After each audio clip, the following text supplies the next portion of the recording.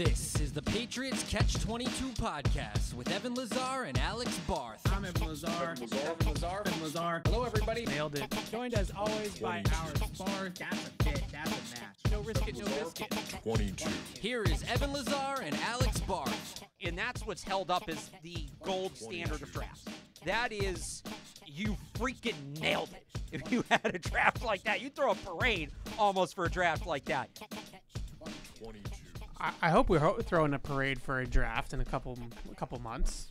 We're Well, we're inside of two months now, right? We're, the the we're- context that was to throw it in three years because of the draft they have in a couple months. Yeah, that's a little weird. Uh, maybe it's instant. I think that that Saints draft was pretty instant. That's true. you know, that Marshon Lattimore. Alvin Kamara, uh, Evan Lazar, Alex Barth with you. Patriots Catch twenty two. Next couple hours here, we're gonna talk. We're gonna talk draft. We're gonna talk combine as we always do. Uh, we have to recap the combine that that ended uh, on Sunday, and then we're also gonna get into some free agency. I know free agency is on a lot of people's minds next week. Uh, free agency, frankly, for me, Alex, is is not really at the top of mind, even though it starts on Monday because. Uh, no, frankly, just like how bad this free agency class is, Yeah. especially on offense. I mean, look, the defense, uh, there's encouraging guys, and I I think you can really add in certain spots. And maybe they go out and pay Christian Wilkins. Maybe they go out and pay a safety to pair with Dugger and Peppers, who can really play the center field, like a Justin Simmons or Xavier McKinney or someone like that. That's going to be encouraging. Uh, maybe they win the bidding war for Calvin Ridley. You know, the, there are guys out there. I'm not trying to sit here and say there's nobody, but it, it really just goes to show and uh, this isn't even where i was going to start because i was just going to get right into the combine but i think what really goes to show as we get into the combine and the draft is the premier talent let's just start with the receiver position but i also think this pertains to tackle as well uh, the premier talent does not hit unrestricted free Nope. agency anymore No. and the really the only way to acquire a Tee Higgins is to trade for him or to draft him. And there's not going to be any uh, there's not going to be a world anymore where a guy of that caliber becomes available. Similarly at tackle, there's not going to be a world anymore where a premier tackle is just free on the open market to sign. Even last year those guys that we had talked about a lot all had issues. Like they, Right. they were all flawed players. I would add at quarterback. Well, yeah. It's not going to happen. Yeah, that one I think has been going on for a while. But tackle and receiver have become, I think, receiver uh, because of the value overall that they bring to the offense, and I think tackle because of the scarcity of good, proven tackle play. Teams are just not giving those players away. So if you're the New England Patriots and you are a tackle wide receiver needy team as you are, the good news is that that was maybe one of the best weekends of wide receiver and tackle workouts I've ever seen Yeah. in my my time at least. I've been watching the combine since I was a kid. I can't remember a time where I saw that many wide receivers run a sub four five and just absolutely blow it out of the water And guys that size running a sub four. even guys that I have on my downs list, I looked up a couple uh, of guys that I was like, oh yeah, I didn't, I wasn't, you know, didn't love that guy. Their RAS is still top half of of the database. You know, Now, athletes does not a football player make. We should add that qualifier. sure, but when with this class, it's you're combining good film with good athletes For the most part, yeah. And, that that's the difference. Uh, so I agree. I think the you know the combine. The one thing that does just a little pet peeve, and then I want to get into it. We're gonna give three up, three down from the combine, like we do in season after games. We're gonna just do it for the combine. And uh, we're also going to talk free agency. Like I said, our phone lines are still down. So if you want to uh, get involved in the show, you can do two things. Uh, you can email in at webradio at patriots.com, as always. And uh, Barth is going to, uh, he's going to look at the YouTube comments a little bit and, and monitor those as well. Can so, I add? Can I add one more way? Sure. Let's say if we get what would be like a dream dream number for you for people to be watching at once. Dream dream number. 283. No, no, no. I trust me. Set it higher. If we I don't get a million people on the A mil- stream, a million people. Evan will give out his phone number. You can call him live on the show and ask questions. Sure. Give out more than a phone number. Eh, if a million people are watching, I will give out my phone number. We're, sure. we're at live right now. Oh, oh, we just got two more. We just There got you two more. Get ready, Evan. But Oh, uh, no, I'm, I'm, I'm sweating over here. I'm watching the YouTube comments. If you guys have questions there, I'll try to pick out a couple. so my, my least favorite thing about the combine because you know Yeah. we both love the combine. It's our it's right in our wheelhouse. I love it. I'm dying for you to come to Indy one year with us because we also have a good time outside of the combine. Yeah. Uh, but I would say that you know the the thing that bug, bugs me the most about the combine is on both sides of the spectrum. Uh, Xavier Worthy runs a four two one. Well, Tyquan Thornton ran a four two seven, and he stinks. Like, okay, Xavier Worthy was awesome at Texas. His Right. film is awesome, and now he's the fastest receiver in the history. Player, player, player, Thank player, player. Fastest player in the history of the NFL scouting combine that's been going on for 30 years. So you're combining the fact that at Texas, you can turn on the film and be like, this guy, you can't catch this guy. And then you look at it and you say, oh, yeah, you really can't catch this guy. So that that's Right. On the other side of it, it's is Keon Coleman, right? Who after he ran the four six, I tweet out and I'm like, I'm out on Keon. Oh, you're only out because You've of been his out on 40. Coleman- right. I've Coleman. been out on Keon Coleman. He's not my type of guy. He's not my brand of receiver. I'm I'm out. I'm out. That being said, I'm not going to put Keon Coleman on my downs list, but uh, we will get into that. But that's all I just wanted to say about the combine. It's all, all the combine is is confirming priors. Well, can- I think so- this guy is fast and he's fast. I think this guy is slow and he's slow. That if you if you have a guy that you thought was slow that ends up being fast, well then you got to throw it out and re- and start over, right? That that's what the combine's all about. So just to revisit Xavier Worthy though, because he's obviously an extreme example. Yeah. And I see a lot of people pointing to this. And look, it's fair. I'm going to pull up the list of fastest 40 times. Um, It's not good. it's it's it's not good. It's considered a curse if you have the fastest 40. I got to go through here. So you have um, John Ross, Chris Johnson's kind of seen as the exception. Yep. Dri Archer, Jerome Mathis, Marquise Goodwin, Stanford Routt, Tyrone Calico, Jalen Myrick, J.J. Nelson, Jacoby Ford, Fabian Washington. So not exactly a lot of Fabian Washington was okay, but but yeah. not exactly a lot of stars on that list is my point. No. And those were the the 10 fastest prior to this past week. So people look at it, and I remember when Tyquan ran it, and, Yeah. and people said this, and I think now they feel vindicated in this take is that like a fast 40 some kind of curse, or it's a it's a sign that a player's nothing. not going to be good. Yeah. Here's the thing: a lot of those players, most of those players, were not viewed as high value draft picks before they ran that 40. Tyquan was supposed to be like a mid to late day three pick Yeah. before he ran that 40. The guys that actually were projected high are is a guy like Chris Johnson who did turn out being good. Xavier Worthy is not Tyquan Thornton where he was relatively obscure, ran the 40 and suddenly popped on draft boards. I've been trying to get Evan to watch Xavier Worthy since last fall, Yeah. since before he was draft eligible. Like We, I got something about that that's totally unrelated but related. But Okay. keep going. Xavier Worthy was a breakout star as a freshman. He's been one of the top receivers in college football for years now. He's been viewed as a potential first round pick pretty much since his first year at Texas. Does that all mean he's automatically going to be good? No. I he weighs 172 pounds. That's a legitimate concern. Yeah. Is is his durability I think and it was, his- isn't, wasn't he like 165? Oh yeah, I'm reading off his Wikipedia. You're right. Yeah. He came in at less than that. He came in at 5'11", 165. I remember Yeah. because we were calling him taller Zay Flowers, and then I saw that I'm like, he's not really taller. He, might just be Zay Flowers. He's a little taller than He's a little taller. He's not over six feet. He, I thought he was like six one, six two. Yeah, he was listed at like six. Um, I think six one. so there's legitimate concerns with him. Again, it's not to say that he's great either, but this is not your typical guy nobody knew about. Ran a four two. Now suddenly everybody's obsessed with him. This is not that. This is a guy who was viewed as a blue chip prospect before he ran that forty, and a fast. You shouldn't. We shouldn't be dinging him for a fast forty. We shouldn't. You shouldn't be saying. Yeah, well, I liked Xavier Worthy before, but now he ran a super fast 40, and guys that run super fast 40s Uh, are never good, so I'm out on him. Uh, but you're well, that's my thing. Is uh, immediately after I said, "Oh my God, Xavier Worthy, this guy, you know, whatever," it was, "What is that? Like, it's you're judging this on a four? No, no one's judging it on a forty-yard dash. He was already, like you said, he was Right. already a top fifty player in this draft, and then he ran this forty-yard dash. Now, uh, do I do I move him up to the top ten? No, I don't move him up to the top ten. With that being said, I, I do think that."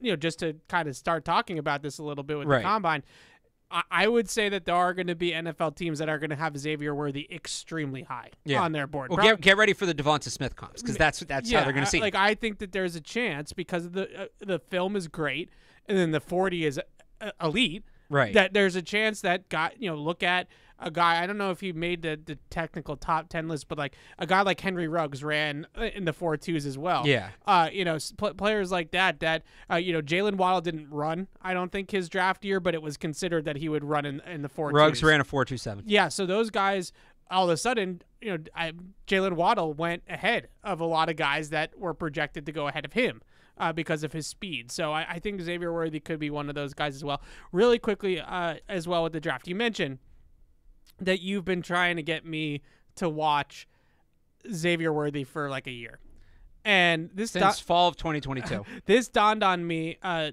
for some reason this morning. Oh, because yesterday we were talking about uh, this off the air, obviously. Yeah. Uh, we were talking about like going back and searching names in our. I was going to say we should do you if you want to do that on the air. That could At be a fun little experiment. Okay. A- and and just like how right or how wrong we were about certain guys. Uh, I I think that my my development of my Zach Wilson take was one of the funnier ones to come Yeah. from this. Where like in season uh, during college football season, when I'm just scrolling Twitter and seeing highlights, I'm like, oh wow, that, this guy Zach Wilson might be pretty good. And then I actually like watch the film in like in March, and I'm uh, never mind, I I, I was wrong. Uh, so th- those things, and I the whole thing that sparked this was this idea. By the way, I found my first text to you uh, March 3rd, 2022. Wait till you see Xavier Worthy from Texas. oh my god. When you said you were talking about Justin Jefferson, you said he's the standard for prospects. I said, Yeah. wait till you see Xavier Worthy from Texas. Two years. Well, he's not as as well. he's not the standard. He's, not, not the standard. but I'm Justin literally, it's over two years now. I've been talking to you about this guy. Yeah. So last year, I distinctly remember, and the point that I'm trying to make here is that we've we've seen, and I, Chris Sims is, I texted you, Worthy might run a sub four three. Chris Sims is is notorious for for what he did with his quarterback rankings. He always got to do something to get people talking. That's his job. Is is to get is to get people riled up. I get Right. that. But we see all, we're seeing all these different quarterback rankings, ex ex players, you know, draft people, whatever, that are all have a, a take on this quarterback class, which is totally fine. Everybody's entitled to their opinion. Uh, but what I'm seeing a lot of, uh, especially from Chris Sims, who had Drake Maye as the sixth ranked quarterback in this class, is I'm seeing a lot of, a lot of people have some wild takes on Drake Maye specifically, but just on somebody, right? Whether Yeah. you don't like Drake Maye, you don't like uh, Jayden Daniels, whoever. And I remember last year, I was watching Josh Downs on UNC, Yeah. and I was impressed by Josh Downs. I thought he was a good player. I think he is a good player.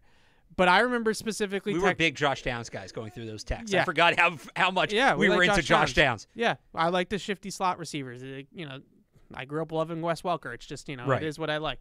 Uh, so Josh Downs, we're watching Josh Downs and watching Josh Downs, and I texted you and I'm like, who is this quarterback though at North Carolina? Like this guy, this quarterback's got, you know, got some real talent. And we use a consensus board mock draft database, right? Yeah. And I remember you telling me, oh, ne- that he's in next year's class, like he's going to be a top five pick. Uh, this guy, he, he's you're right, like your eyes are you're he's a stud. And then I went on. I remember going on mock draft database, and it was Caleb Williams one, Yep. Drake Maye two. This was at the end of 2022. And what happens, I feel like, with the draft process is that we go through a whole year of tearing these guys down, right? It just, it, all of it. I mean, Caleb, Right. Caleb is is is gotten some of, of it too, a lot of it. But luckily, I cooler heads are prevailing. Well. I think especially holding at one. sorry to jump in, but No. I think these guys that are on the map for multiple years. yeah, Because last year Caleb could do no wrong. right. Because that was the year he broke out. Now we already know he can do no wrong. So you look at him a little closer and you start to see it versus a guy like Jayden Daniels who just popped onto the scene this year. Right. And he's kind of talked about the way Caleb Williams was last year. You see that a lot with the guys who are draft pros, and you're going to see it more because guys are going to stay in school because of NIL. You're going to start seeing the guys that are, you know, two, three, four year starters.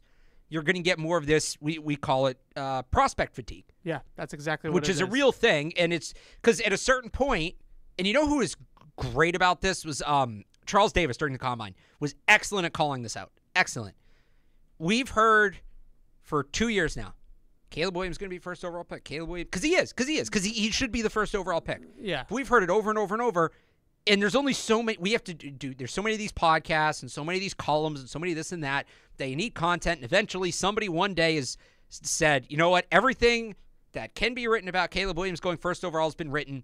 What if he doesn't just as a hypothetical what if he doesn't Yeah. and then that catches steam and then other people because it's something new to talk about and marvin harrison we've talked about is going to be the first wide receiver off the board because he is and we've talked about it we've talked about it we've talked about it until somebody gets bored and says well, what if he's not? What would that look like? And then that gets taken to another level. Same works in reverse. JJ McCarthy, he's not that good. He's not that good. He's not that good. But what if he was? What would that look like? What if right? he was. And What I if he just magically became good? well, JJ McCarthy is just the most amazing hypothetical quarterback of all time. He's right up there with Jimmy Garoppolo in terms of like the hypothetical goats. But we go through these rounds of prospect fatigue and it annoys the crap out of me. I know it annoys the crap out of you. Look, if you see something different than people, you actually have the right to to say. it. You absolutely have the right to say it. And you learn new things throughout the process that change your per- perspective. That's also fair. Just don't just don't take the bait when it's the what if conversation. When it's ju- just just for the sake of throwing this against the wall, what if this? Don't take the bait on that one because if we if you want to do that, Evan, what if Joe Milton goes first overall? Okay, so back to the real point here. uh, the the thing that I think really shocked me, not shocked me, but I, I guess the thing that I took away from the combine, just going to the combine and and talking to some people at the combine, was that these NFL teams. I think we need to keep this in perspective. No NFL team is going through the pre-draft process of all this, the combine, the Senior Bowl, the 30 visits, all of this, and taking Drake Maye or Jayden, either one, taking Jayden Daniels and moving him from two to six on their board. Nobody's doing that. All these NFL teams have pretty much had these guys ranked in the same way for some time now. Now, when it comes to who they might actually draft, especially in a position like the Patriots at three overall, what really comes into play is then the, like the 30 visits and the interviews and all that kind of stuff, and just who do you gravitate towards and who do you like? Because I think for a lot of NFL teams as well, there really isn't a major, major talent gap between Jayden Daniels and Drake Maye. So it's going to be a flavor thing. It's going to be a, a thing of this is the playing style that I would prefer. This is the guy I prefer. This guy interviewed better than that guy. That guy interviewed better than this guy. So what it, I'm getting at is is that this is all media fodder Right. that the that all of a sudden, eh, eh, it, according to some guys, Drake Maye is QB six and needs to sit for two years before even touching a football field. Like all, uh, no one in the league has had a wild change of heart on him like that. So I, I would just put that in, into perspective when you see some of these these rankings and you see some of uh, you know the talk about these quarterbacks. You know, the, my my other favorite thing that comes out of the combine every year is you know we polled league executives and they all this is how you know they think that Drake Maye can't play and they think Jayden Daniels can't play. You know what I mean? Like the the whole anonymous Yeah. scout community. Yeah, it's it's we talked to one. I don't mean to keep picking on JJ McCarthy, but he was kind of the poster boy for this this year. We talked to one league executive who thinks JJ McCarthy is going to go third overall. All right, well that guy's team probably is the twenty somethingth pick. Right. He's never going to be in position to make that decision, and he probably just said something crazy for the sake of saying something crazy. It doesn't matter if it, all it matters when it comes to JJ McCarthy and the third overall pick is what the Patriots think. yeah. If they really like him, he's going to be the third overall pick. If they don't, he's not. If some league executive from, I just know they're at the bottom of the draft, the Chiefs, if Brett Veach goes to some reporter and says, I don't know why he would do this, but Yeah. JJ McCarthy could be the third overall pick, that doesn't actually mean anything. Yeah. So I, I think, and I guess I'm going to do it a little bit here. I think the the consensus Yeah. from Indy on this quarterback class is been pretty steady at this point that Caleb's obviously one. Yeah. I would say the consensus has Jayden Daniels at two. Drake Maye at three. But that's clo- like, and, and it can be close. There's Yeah. nothing wrong with it being close. And Yeah. I think, do you think it's, all right, so 16 teams in the league, or 32 teams in the league, 16 16 split. Do you think it could be like 17 15 in favor of Daniels? Yeah. Is it like something I close think like that, that? most people, you know, everybody you talked to said the same thing about the quarterbacks, Yeah. and that was all three of these guys are top five picks Are legit, right. And in pretty much any draft, right? You know, it doesn't really matter. The the other thing that you heard a lot of though was that this class has those three guys, and then JJ McCarthy's kind of the wild card. Yeah. And then not a lot of people that I talked to, and again, I just laid it out perfectly on purpose that you talk to five people, those are five of a thousand people in personnel, you know, scouting departments. It's just a person's opinion. It doesn't mean that it's it's it's a hundred percent. Right. But really, what you heard was Caleb, Jayden Daniels, Drake Maye, JJ McCarthy, and then Penix and Bo Nix was uh, really just depending on who you asked. All right. Well, Right. we're, we're, I want to talk about that one in, at some point. But I have a v- now very strong take on one of those guys. that that's that was the general consensus board, I would say, coming out of Indy. But I think the biggest question now, uh, if you're the Patriots, is let's say the Patriots are Jayden Daniels' team. Let's say that they they Right. like Jayden Daniels, that's their guy. Is if the Commanders take Jayden Daniels at two, do you not like Drake Maye to the point where you're trading out of the pick, or are you okay with either one of those guys? Right. If you have, so there was a report that the Patriots' new grading scale is from like 5.0 to 9.0, right? Yeah. And I don't know exactly where. Let's just take that at face value, right? yeah. If you like Jayden Daniels better, but you have Jayden Daniels as an 8.5 and you have Drake Maye as an 8.4, Right. right?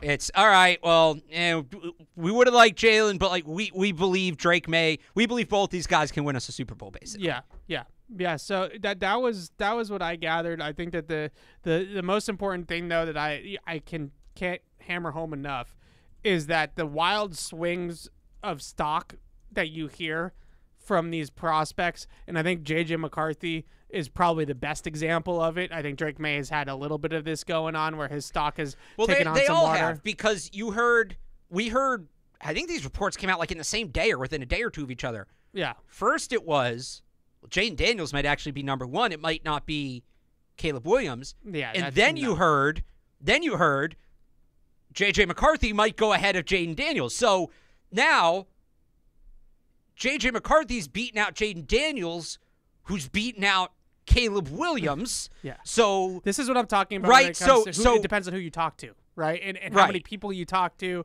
and and what you know. One guy might say something crazy, the other guy might say something normal. Like it just. It I also, and I don't mean to pick on them. I'd probably do the same thing if I was in their shoes.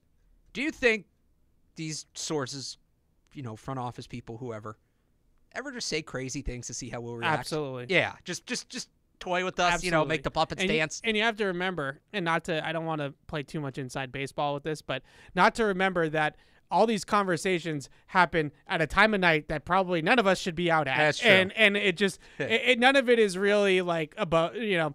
It, it's it's a little bit dicey of whether or not you should really be reporting anything at that time of night, right? Like that that's the bottom line. But I, I, I think that when you look at this quarterback class, JJ McCarthy is probably going to settle somewhere and the people in the league are going to be like, yeah, we've we've had JJ McCarthy there for 6 months. Like you guys are Right. welcome to the party. You know, Will Levis last year, right? You know, oh, he could be a top 10 pick. I think Mel Kiper ta- called him a top 10 lock at one point. He goes top of the second round. so Right. so uh, the league always viewed Will Levis as a as a late first, early second round pick. I guarantee it. They did not all of a sudden completely sour on Will Levis. That's just not how it works. Let's get into the three up, three down uh, from the combine. Should we start with the positives? Let's start with the positives. Yeah. Okay. Uh, I'm gonna go uh, w- with my number one. Uh, both Texas wide receivers. I think Oh, I did the same Both. thing, and I thought you were going to get mad at me for that. both Texas wide receivers, but I would actually specifically say AD Mitchell I think A.D. Mitchell overall had a better combine. Yeah. I'm 100% with you. because AD Mitchell now has the body type that's you know a little bit thicker, a little bit more weight, a little bit taller uh, than Xavier Worthy. Uh, the ideal he has the ideal frame and he has the ideal athletic profile. Uh, him running a four three five took me by surprise. I thought that he was Yeah. like maybe a mid four fours type of guy at the fastest. Uh, he has another gear I didn't know he had, and that it does make you question a little bit because he doesn't necessarily have that type of long speed that you see on film. Uh, like you know, he doesn't Yeah. necessarily play to a four three five all the time. Uh, but I wonder how much of that was pacing routes and you know opportunity to open it up and really run by people and things like that. Not you know one of the thing about receivers. You don't want to go 100 miles an hour all the time, right? Like you don't want Right. to you don't want to be that. That's Tyquan Thornton. He only has one gear, right? And it's it's great that your gear is that fast, uh, but it doesn't. Ha- that's not how you create separation. You create separation by pacing. and That's how you win track meets. yeah, changing your your route pacing. So Ad Mitchell checked every single box. Uh, four three five at what two oh five, two ten, something like that. Six one, six two. Uh, I would be absolutely shocked at this point if Ad Mitchell makes it out of the top twenty five. I think he's a top 20, 25 pick all day, all day. And uh, he was excellent. And him and Brian Thomas Jr. are both top 25 picks now, I think, in, in this draft. Yeah, I mean Brian Thomas was also. I mean they're kind of had the same combine, similar Yeah. guys, similar makeups. I wonder if Brian Thomas sneaks his way in the top fifteen. It's possible. I because he's past Keon Coleman now, which was kind of what that Yeah. that uh, I think they was. both passed Keon Coleman. Yeah, that's true. I um no uh, the LSU the the the uh, Texas guys were awesome. Again, Xavier Worthy, don't freak out because of the forty, and there are people who are freaking out because of the forty. This isn't some guy. I'll say it again. Not some guy that came out of nowhere. Like we Yeah. knew who he This was. is not Taekwondo. we knew he looked like a first round pick. He's going to go to the Chiefs. and He's going to be amazing. Yeah. Like you get that right. That's going to happen. Um, and then yeah, Mitchell. I would. We, we talked. Uh, we did this a couple weeks ago, right? We were talking about would you rather have the big body X jump ball receiver or like the quick shifty slot guy? Would you rather have AJ Brown or Devonta Smith? And we we differ on that one. But how about like a six three guy who can go up and get it who also runs a four three, like a DK Metcalf kind Yeah. of guy? Yeah. I, I look at Brian Thomas and I look at AD Mitchell. They have me itching to trade up late in the first round because one of them's going to fall. One of them's there's just as much as we hype this wide receiver class up and look, I had I forget it was seven or eight wide receivers in the first round of my mock I did on Monday. It, what it was receivers and tackles. One was seven, one was eight. It was half the first round was those two positions. Yeah. But there's also not as much as I made that work. There might have been some stretches in there in terms of picks. How many teams need a wide receiver? They're going to invest a first round pick in a wide receiver. I just wonder if some of the, not to cut you off, but I just wonder if some of these receivers are so good that even if it's not like a pressing need And that's on your- basically what my argument was. yeah, But I also think some teams are going to look at it and say there's so many good receivers on the board. yeah. We can wait. So one of those guys is going to fall. And, you know, if AD Mitchell or Brian Thomas is still there at like 25, Yeah. 26, they've got me itching to move back up because that's the kind of guy I would. That's the kind of guy you start building offense around. That's the kind of guy Yeah. that commands double coverage. That's the kind of guy that you're talking about on a Tuesday morning. Um, that's the kind of guy I'd love to see them get. It's funny because uh, there's this NFL Network special going on about Calvin Ridley, Yeah. and Michael Pittman Jr. just housed a screen from like 25 yards out.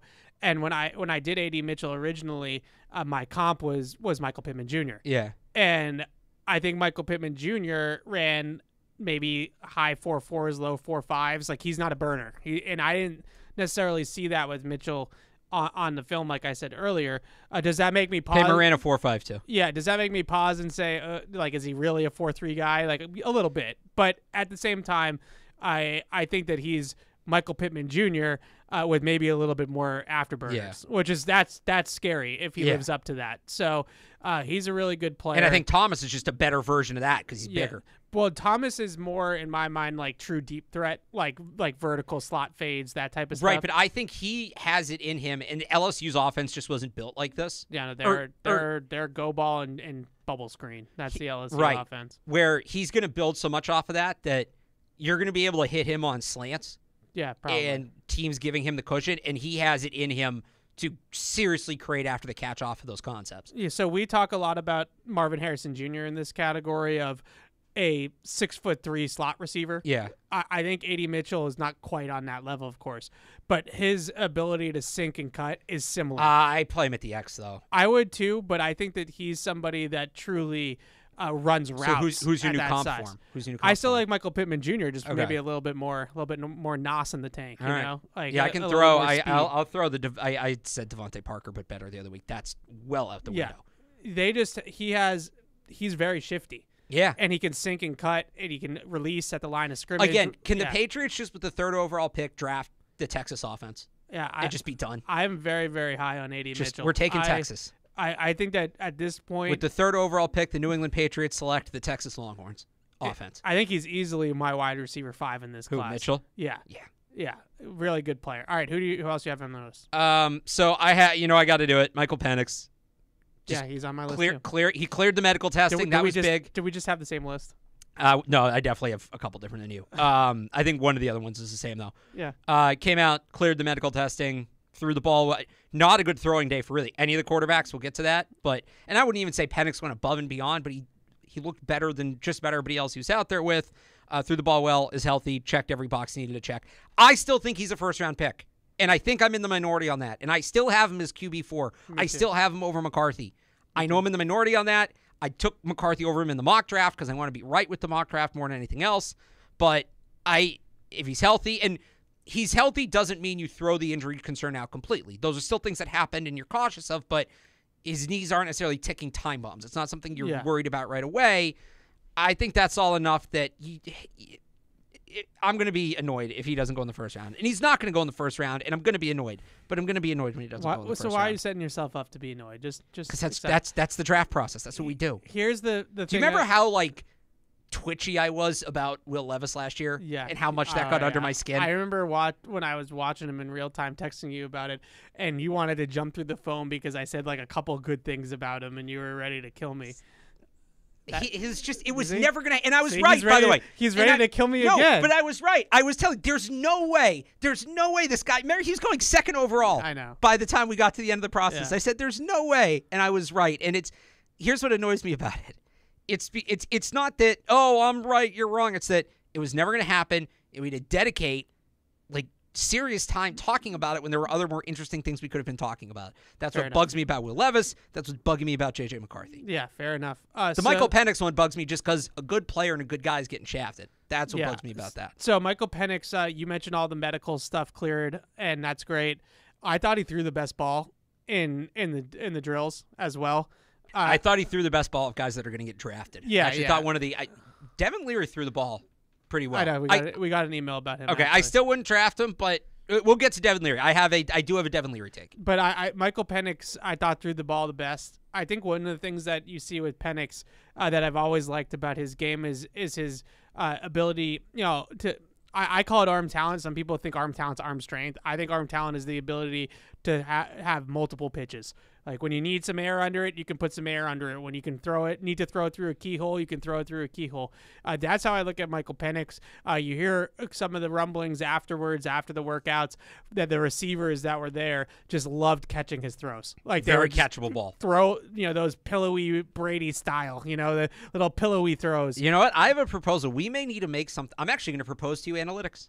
Oh god, You ready for this? pillowy throws. No, in talk, talking about arm strength because soft we had a whole conversation a couple months ago where we disagreed on what arm talent was and all of that. yeah, to me, arm talent is the throws that make you go, "Oh, what a ball!" See, What a ball, right? that- What a- that's what PFF calls BTTs. That's those are big time throws. But uh, don't big time throws have to be down the field? yep, So I'm talking about. Let's say it's a five yard slant, but you zip it right between two defenders. Yeah. that's a what? Is that a big time throw? Uh, not So- probably not from five yards, but maybe like if you're. So talking about, here's like, what I want to do next shot. year. I'm going to record when I watch a quarterback for full game. How many times I say, oh, "What a ball," and we're going to have "What a balls" per game, and that is going to That's translate to arm what talent. PFF does with BTT. no, they. But that's just deep throws. That's all that is. no, it's not. It's just it's deep not throws. just deep throws. It's mostly deep throws, isn't it? Yeah, but it's like they have a scale of like your jaw dropped like that, and and, and that's part of the reason why I think that both of us to an I don't know to But that that you, to me is arm talent. Arm talent to me is the, literally wow the, talent in your arm. How many throws do you make that other guys can't make? Okay, Yeah, I think you know to me, and that uh, can be it- down the say- field, that can we're, be we're short. saying some some we're kind of saying the same thing with but saying it a little bit differently. A shocker, like that we never do that. Uh, I I think the biggest thing for me is just Oh, Penix led in big time throws like by a lot you know last there year. yeah oh yeah Penix was one and Drake Maye was two. Yeah, but I mean it's a met. there- Penix at a- 43, Maye at 35, then Garrett Greene at 31. I like Garrett Greene. It's There's not in a- the draft, but I like. There's Garrett a reason why I I my two preferred quarterbacks right now for the Patriots are they're drafting Drake Maye early or Penix in the second round because both of them have those types of moments on film that you say that's a throw like that's And a franchise quarterback for the record, because this this take has gotten lost in translation. That's what I mean when I say Michael Penix is the best arm talent in this draft. It doesn't mean he's the best quarterback. Yeah. But when I there are more wow throws from Michael Penn, even even Especially Caleb well, Williams. Definitely last year. I mean, Caleb two years ago might have been better. So I'm counting throws. I'm not counting runs around, mm, dipsy Yeah. doos around. Like that's not arm talent, right? I'm Yeah. talking about how like just the, the from the pocket, right. Yeah. Boom. I think both those guys consistently win from the pocket more than anybody else. Jayden Daniels is really good at it too, but Jayden Daniels uh, did a lot of his production came on like a couple different So concepts. you Jayden know? Daniels had the highest big time throw percentage of any of the guys in the draft. Yeah, I mean he's great too. I'm not Actually, to. Jalen Milroe had. Wow. Okay, so I, I thought Michael Penix did everything he Yeah. could possibly have done. And uh, I thought he, he did the same thing at the Senior Bowl. Like it wasn't the Senior Bowl, he wasn't like lights out during practice, uh, but I thought that there's really not much more he can do. He was the Heisman runner up. He was Yeah. the runner up for the national championship. He had a fantastic season at Washington. I still think he profiles as a high second round pick. I know that's going to kill you. Right. So why, if he did everything he can do, why? I think because of the durability concerns. NFL teams are going to look at him, right. and this is just my opinion, but NFL teams are going to look at him and they're going to say he's a first round talent that had four major injuries in college, so we're going to take him at the top of the second round. And there's a very, very good chance that in three years, whoever took JJ McCarthy at eight overall, we're going to be like, what morons? You, you all passed on Michael Penix, which is what we told you all along. There's a good chance that that's going to happen.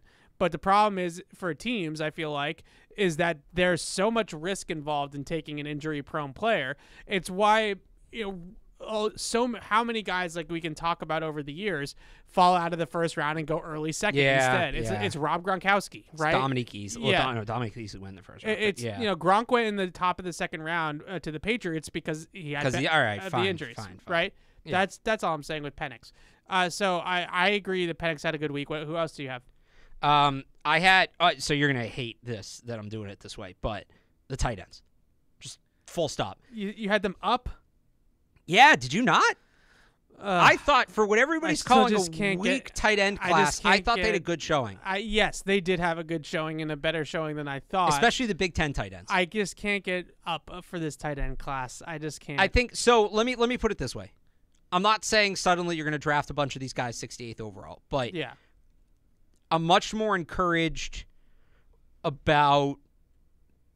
I think there's more there in terms of project players to work with than initially thought. Like Theo Johnson wasn't doing it for me until yeah. I kind of saw the testing, realized what kind of That's athlete he was. Tip Reiman, right?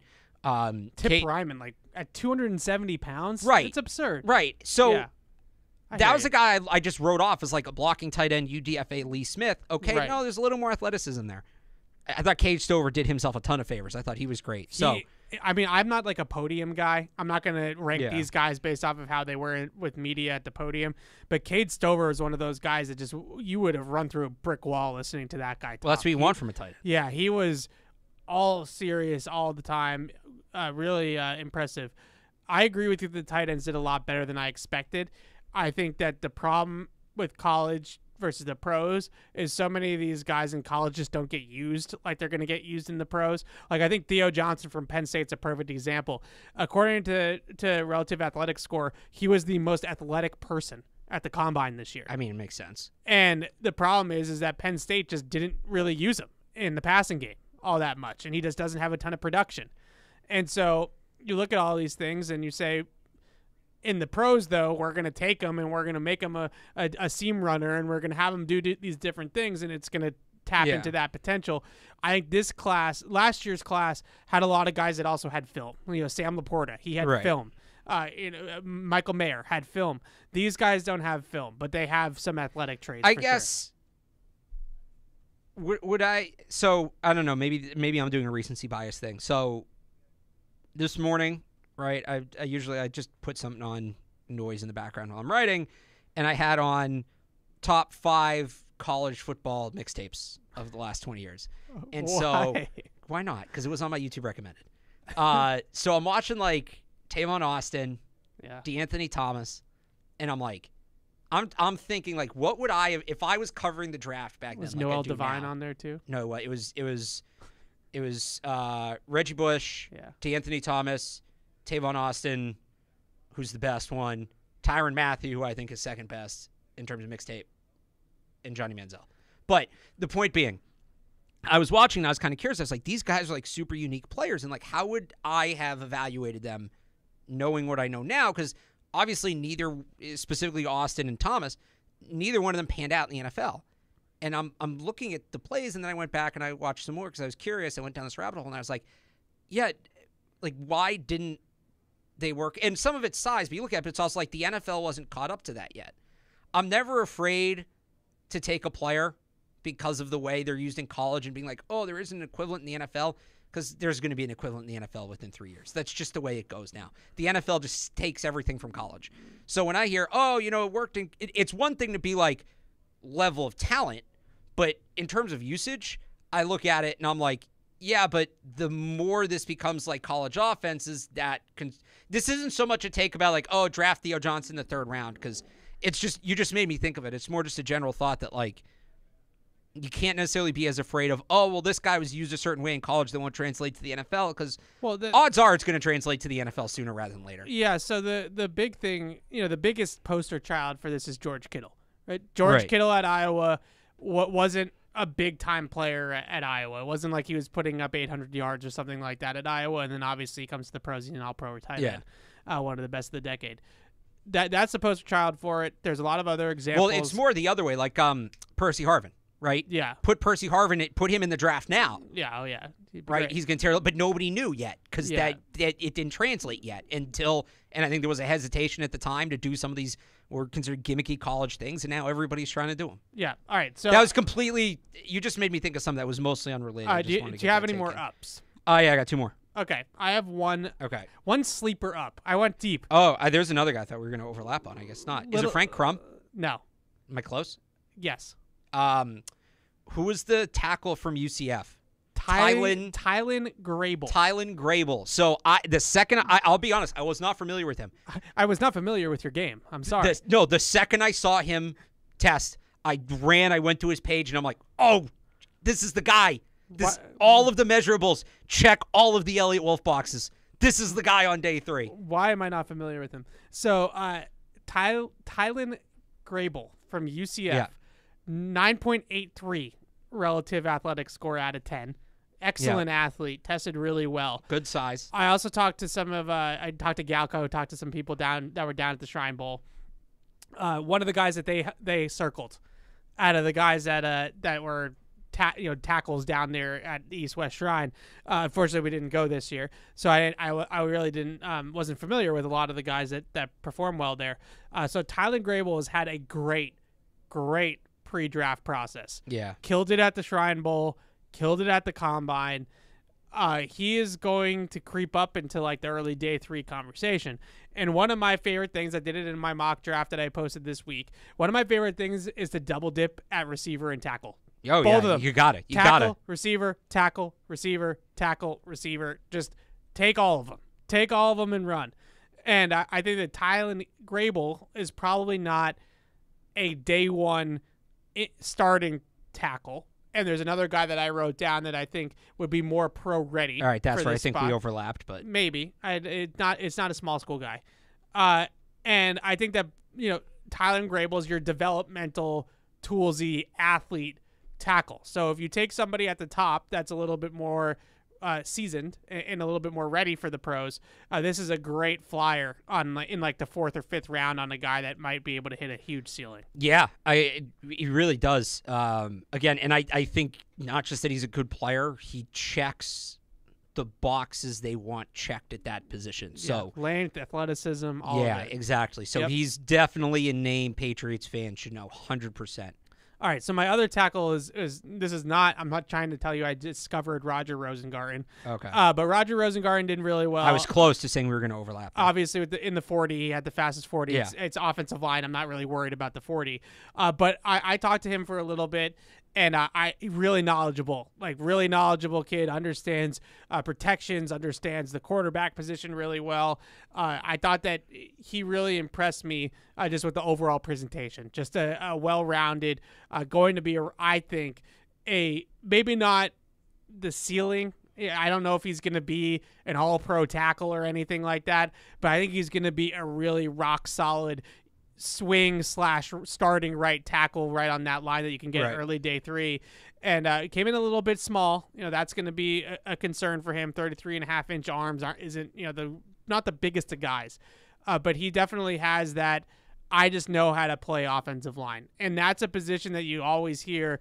It's not a natural position. It's not a Right. natural technique. It's not something that just comes uh, instinctually to a lot of people, unless you're Joe Alt. Uh, so Roger Rosengarten, uh, I think, is going to be a really rock solid NFL player, and uh, I think some team is going to take him and just be really happy with his floor uh, as a prospect. So I liked him. He also mentioned that I, I asked him you know about playing right tackle versus left or whatever and uh, he said that he he played right tackle because they wanted him on Penix's blind side. They right, wa- he's still a blind-side blocker. The, the the Washington tackles are interesting in that sense. And I had Fatanu as one of my ups just oh yeah, because he was he was great and, yeah. and he, he checked the, the box for arm length, which was the big thing for him. When he, Yeah. I think he checked it by a lot, right? He's 34 and something. yeah yeah So he he plenty cleared it. Um, and then I had one more up, and I'll, we'll see how you feel about this one. uh oh Isaac Guerendo, oh the Louisville the back. Louisville running. I'm sorry, running whatever he ran, like a four three something at 220. well, uh, you're gonna see my downs in a second. So oh, you, you didn't put Guerendo on the downs. no, why would I put him on the not him? But Oh, anyways, I'll tell you in a second. all right. Uh, so I yeah, I I was I was really impressed, um, uh, with I mean all the tackles. Yeah. Uh, but Fontenau, oh my goodness. Is it fought now or is it Fatanu? Uh, I I don't know. I did find out that it's Olu Fashionow. Oh, it is. Okay. Yeah, he Fashion says out. he says Fashionow. All right, so we've been uh, apologies to him. We've been Yes, butchering that. yes. This is one another like inside baseball thing. Yeah. but it's cool to go to the combine and have these guys like tell you how you say their names. Yeah. you know, like uh, Kingsley uh, Suamataia. Okay, so I yeah, had that one right. Tia. Not-. Yes, correct. Yeah. Okay. Yeah, that one I think I had. You know, obviously a tough name to pronounce. But Foshanu.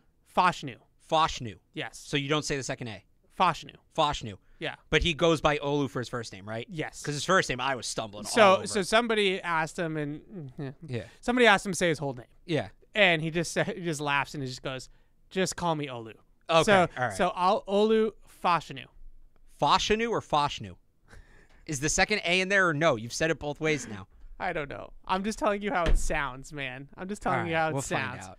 All right. We'll find out when they draft him. Uh. Anyways. Uh. Yeah. Fought. Where are we going with Fatanu? Fought now. Fa- I've been calling him Fatanu. Fatanu. Yeah. Okay. Uh. Yeah. I mean, my goodness. Uh. My goodness. What a workout that was. He he was phenomenal. Uh. Where how high he goes, I I don't know. So that's another Um, guy that, like, if he falls like 25, 26, 27, do you Yeah. start considering trading up? Yeah. Uh. He he was great. Um. Any more? Or we go to the downs. You got any thoughts on Guerendo? Uh. Not yet. I haven't haven't watched him. All right. Um. Oh, I got one more up. Oh. I can't believe I almost forgot this. Oh. Bub Means. Oh my God. Bub Means from Pittsburgh. You are obsessed. You're obsessed. Just watch it's an him. obsession. Just watch him. I've texted Evan every day Is since the combine, once a day, just Bub Means. And I'm going to keep doing it until you watch him because you said you weren't going to watch him. Is this a combination? Is it that you really are impressed with how he plays in the in the in the combine, or is it simply just because Tiquan Underwood coached him? Like, which one is it? Well, I think there's a good chance they draft him. Because of Tiquan Underwood. Because well, that's an uh, well, no. Also, so I did this last week. I averaged Yeah. out right all the numbers yeah. for the wide receivers. Wolf took in Green Bay, and he's he's like it's it's him. It's him. He So- between six and six three. He's six one. If the forty matches up, it all matches up. And then he came out. He did great gauntlet drill, which is the one drill I actually put like significant stock into. yeah. Um, I think he's gonna get lost in translation because that Pittsburgh. If you thought the Patriots offense was tough to watch last year, Oh God. Pittsburgh was another animal. and uh, not a good way. Uh, that was a rough offense, and it was because basically their quarterback was just too hurt to play, and they moved him to tight end, and then they didn't have any other quarterbacks really on the roster that were like legitimate Division One quarterbacks, and it all fell apart from there. If you go back, so Bub Means transferred from Louisiana Tech to Pittsburgh. If you Yeah. go back and watch him at Louisiana Tech, the flashes at Pitt that you're worried about, oh, these are just flashes, show up with much more regularity on his Louisiana Tech film. All and right, here, here's your Bub Means minute. he's just he's well. If I'm gonna keep texting you until you watch him, I'll just, watch and him. I'll watch. him. Just mix in one or two Louisiana Tech games, like we did this mix, with mix uh, in water. All no, right, remember we it. did this with Jordan Addison last year. Yeah, you yeah. watched Jordan Addison at Pitt, and you were all confused, or you watched him at USC, you're all confused. Said go watch him at Pitt. Um, the fact that Tiquan coached him is good, and he's just a well. They need guys that can do a little bit of everything because they're they don't have enough. They have enough dead weight they're going to have to carry at the receiver position that they're not going to be able to carry guys that specialize. So Bub Means does everything a little bit well. I think he's best at the vertical. Skinny post is a great route of his. That's obviously a big route, and you know what they're going to do with Van Pelt. Yeah, I, I, I He's- think he's He's he- a double dip guy. I wouldn't take him as the only does- receiver, but he's a double dip He guy. He does scream Packers receiver. Yeah, He, that's he- what I'm saying. Like you know, if he, him and like, uh, what's the Wicks, the d- d- uh, d- D- Dontayvion Wicks. I it Dontayvion. Wicks, like those type. That it's just these random Packers receivers that just obviously like Jayden Reed's a different thing. He was drafted in the top Right. 100, but like these different Packers receivers that just come out of nowhere like every three years, and you're just like, who? And you're like, oh yeah, that guy. All right, uh, Right. No, no, no. Actually, that's a perfect comp. Wicks 6'1", 205. Bub Means 6'2", 210. I- like, yeah, I- I just don't- just watch Bub Means. just watch Bub Means. Okay. obsessed. It's an obsession. Like, well, no, it's an it- obsession. You're once you told me you weren't gonna watch him, then it be- know, then it I- becomes I, a I mission. Say, I say those things just to Then it just becomes to- a mission. just to do that to you. Is All it no? Okay, let me put this way. This is not Bryce Ford Wheaton from last year. It's a Oh little my different than God. Bryce Ford Wheaton. Your Bryce Ford Wheaton, Wheaton this year is Johnny Wilson. No, I'm not. No, I mean, Bryce Ford Wheaton this year is Joe Milton. No, it's No, but that's different because I wanted the Patriots to draft Bryce Ford. I don't know who my Bryce Ford Wheaton is this year. Bryce Ford Wheaton is the perfect example of why you can't just go off the combine. Well, right? we don't know whether or not he's good. He tore his ACL. He didn't play. Oh my God, no, he's not gonna. Come on, come on, just just No, Tiquan is we don't go off the Uh, combine. uh, anyways, uh, let's go to the downs, and uh, I know the kid from Louisville had a good combine. He he he ran well and all that, but I just had all the running backs, the all the running backs. Outside of Gor- Guerendo, it was pretty meh. So uh, it was pretty meh, but I'm not even doing this as like a Evan, you know, anti running backs take right now. It's not even like the point. I'm saying that it was all the running backs because I think all these guys are just the same. And I know they all have different skills and stuff like that, but in terms of where you value them on the board, They're all early day three guys. they're all early day three guys. You could throw a dart against the board, and one guy's going to hit, and one guy's not going to hit, and you probably aren't going to have a great idea of which one's which. They are all the same. I will say the the one other guy I thought stood out a little bit was Jaylen Wright. I thought he went through the on Tennessee, Tennessee. Yeah, yeah. I thought he went through the on-field drills really. I mean, we've talked about like the running back early on day three. Marshawn Lloyd, I think, is going to sneak into day two. He's good. He's good. Yeah, I don't. So this kind of goes he's to the one running back in this class that excites me. well. So this kind of goes to your point where I like Marshawn Lloyd, but I wouldn't. I wouldn't even necessarily trade back to the end of day three to get him. If you can get Jaylen Wright at whatever it's going to be 104, 105, 106, yeah, I don't think there's this massive gap between Jaylen Wright and Marshawn Lloyd. I think Marshawn Lloyd just played in an offense that better showcased his skills, so teams are a little higher on him. I think in the NFL, they're going to be about the same player. this is such a dime a dozen running back class. There's no value in it because they're all the same. I'm fascinated to see when the run starts. It's you're probably right. It's probably going to be early day three. Like No, it's going to be late day two. You're going to start seeing teams in the 90s trying to get ahead of it. yeah, The good teams that can afford to take a running back, you know, on, in the third round, they're going to be like, all right, before everybody starts running. Well, the dumb thing is, so the two best running backs in this class, like Blake Corum is going to be a second round pick. but even he was unimpressive. Uh, no, but he's going to be a second round pick. And then the second best running back in this class is Jonathan Brooks, who's not going to play as a rookie because Yeah. he tore his ACL Texas. Everybody else, I agree with you. Trey Benson, Bucky Irving, Braylon Allen, Jaylen Wright, Marshawn Lloyd, same guy. Uh, It's just Same guy. So it's, so, it's a very good. I do think the run starts late in the third. You're going to see a handful of running backs go in the top 100 in like the late 80s, early 90s. It's a great class for my fellow running backs don't matter crowd because it's just they're all the same. You could draft Bucky Irving and he's gonna get he would probably give you the same production as as the next but this guy. is a bet. No, no, hang on. I'm not going to let you do that. Hang on. I'm not going to let you do all that. All the same. But it's a bad class. It's a bad class. But it's a bad class. So, all right, are all, do tight ends not matter? You draft any one of those tight ends we talked about earlier. They're all the same. According to your logic, that means tight ends don't matter. No, that's not what I'm saying. No, but that's exactly what That's you just said. that's saying. It's just a exactly what you just said. It's a dime a dozen ex- position now. Was it a di- all right? Last it. year, were they all the same last year? No, but that was a good class. This isn't a good Right. So class. it being a uh, bad class doesn't mean the position doesn't matter. We Yeah, can go back to it does. 22. Does quarterback not matter? Desmond Ridder, Kenny Pickett, Bailey Zappe. is- Is there a difference between any of them? No.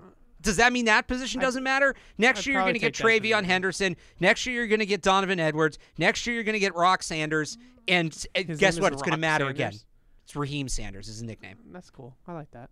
Ches The, Malusi. the only guy that out of this running back class that I think is is worth a damn is Marshawn Lloyd. That's it. You, do you actually have Marshawn? And I like Marshawn Lloyd, but you don't have Marshawn Lloyd over Blake Corum. Come on now. Blake Corum is going to make Blake Corum is literally Danny Woodhead. Blake Corum He's is going to five, make six. Blake Corum is He's going. shorter than I am. Blake Corum is going to make JJ McCarthy a top 15 pick. Do you realize how hard that is to do? It's not You've just watched Blake, JJ. It's not you've just watched Blake JJ Corum, McCarthy. though. It's the whole operation. Blake Corum's Michigan. the best running back in this draft. You're kidding yourself. Uh, they it, it's like yeah, these tractor trailer sized holes, and we're supposed to be impressed with Blake Corum. Go Please. back and watch the last Both- couple years where the offensive both- line wasn't quite as good. both those running backs at Michigan produced. Both of them. Donovan Edwards is going to be a top three or four back in next year's class. He's also very good. They just happen to be the All right, best running who- backs who- in the country. Your, who's your net? Who's on your list? All the running backs stunk. Uh, all right. So my downs. Uh, I'm going to start with Bo Nix. I have a take on Bo Nix. you think he stinks? I'm just. It's not even that he Bo. Nix. I'm not. I was not expecting that. I am incredibly. I, I think I texted you this last night. I the things I've said about Joe Milton, right? Where I don't know whether he's good or bad, but he's exciting.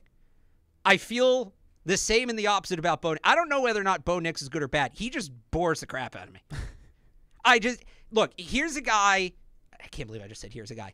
Bo Nix is a guy. Here's a guy. Bo Nix is a guy that should show up in shorts and a t-shirt and hit slant routes and put him right on the money, and everybody drools all over it, even though it has no football application. He is accurate. He, but he hasn't been. He wasn't at the Senior Bowl, and he wasn't one of the more accurate quarterbacks. It wasn't to the point where it was He noticeable. which literally it should be. the highest completion percentage in the history of college football. right. Well, hang on. We'll get to that in a second. what do you mean? He Right, no, so his- percent of his passes. right. So his accuracy, I should be blown away by his accuracy, especially in controlled settings, and I haven't been. Okay. That's disappointing. That's, That's what I'm saying. That's no. I, you're exactly right. He does have the highest completion percentage in college football history. So why is he missing guys at the Senior Bowl and at the Combine? I think that Bo Nix is. I, I've said it to you before, and I, I don't know where you're right. He's not toolsy Mac Jones. That's the wrong way to put it. But he's just He's Zoe likes to say he's built like a linebacker. He's linebacker Mac Jones. he's Mac Jones with a little bit more physical tools. So I'm I not just- saying that he's you know Mac Jones with Josh Allen's arm talent. I'm not saying that. Yeah. I'm just saying he's he's Mac Jones, but he's a little bit more mobile. He's got a little bit of a better arm. A little bit smaller. Yeah. The thing about Bo, Bo Nix is a great college quarterback. And I stand and we did the list last week, and I think I had him like third on my list of who was the best college quarterback. Yeah.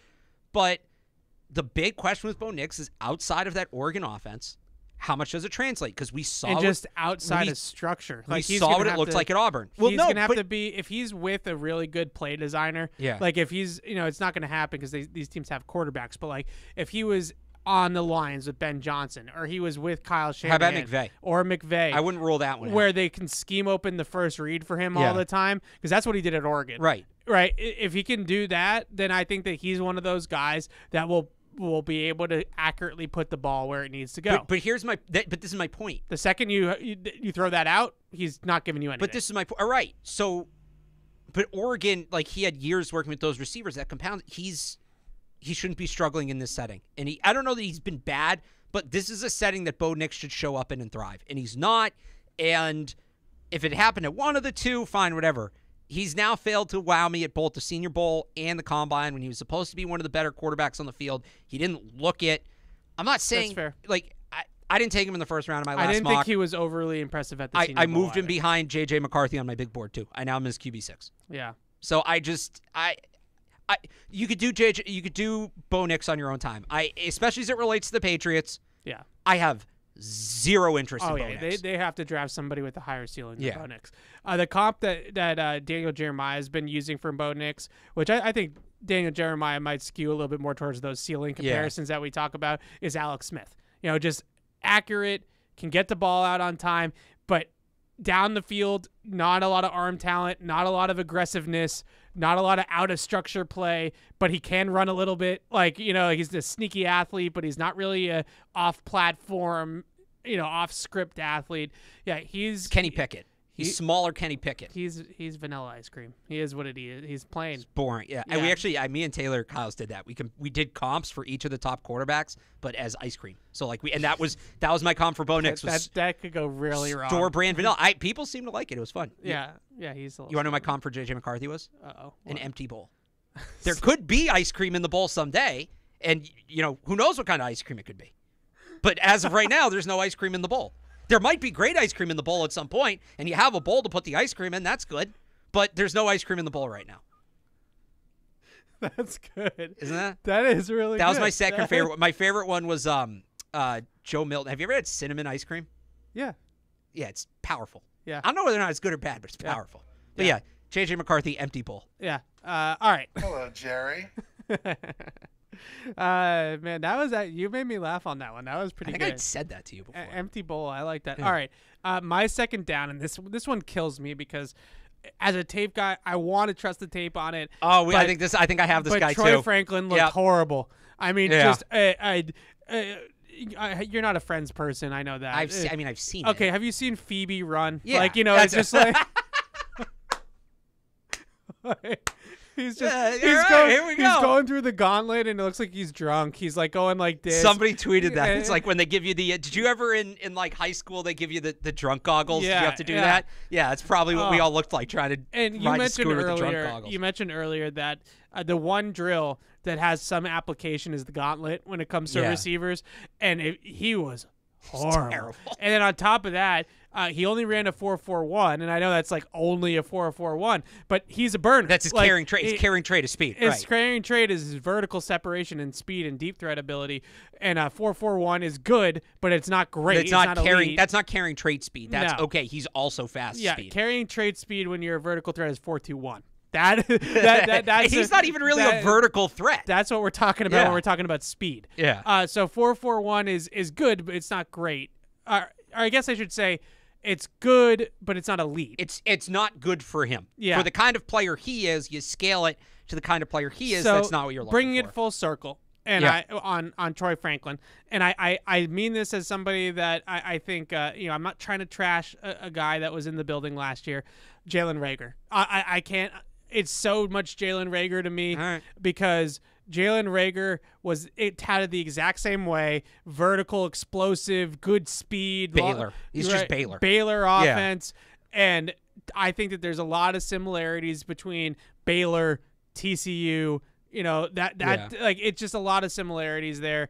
And uh, Jalen Reagor uh, obviously ended up being a, a, a bust for where he was drafted, Right.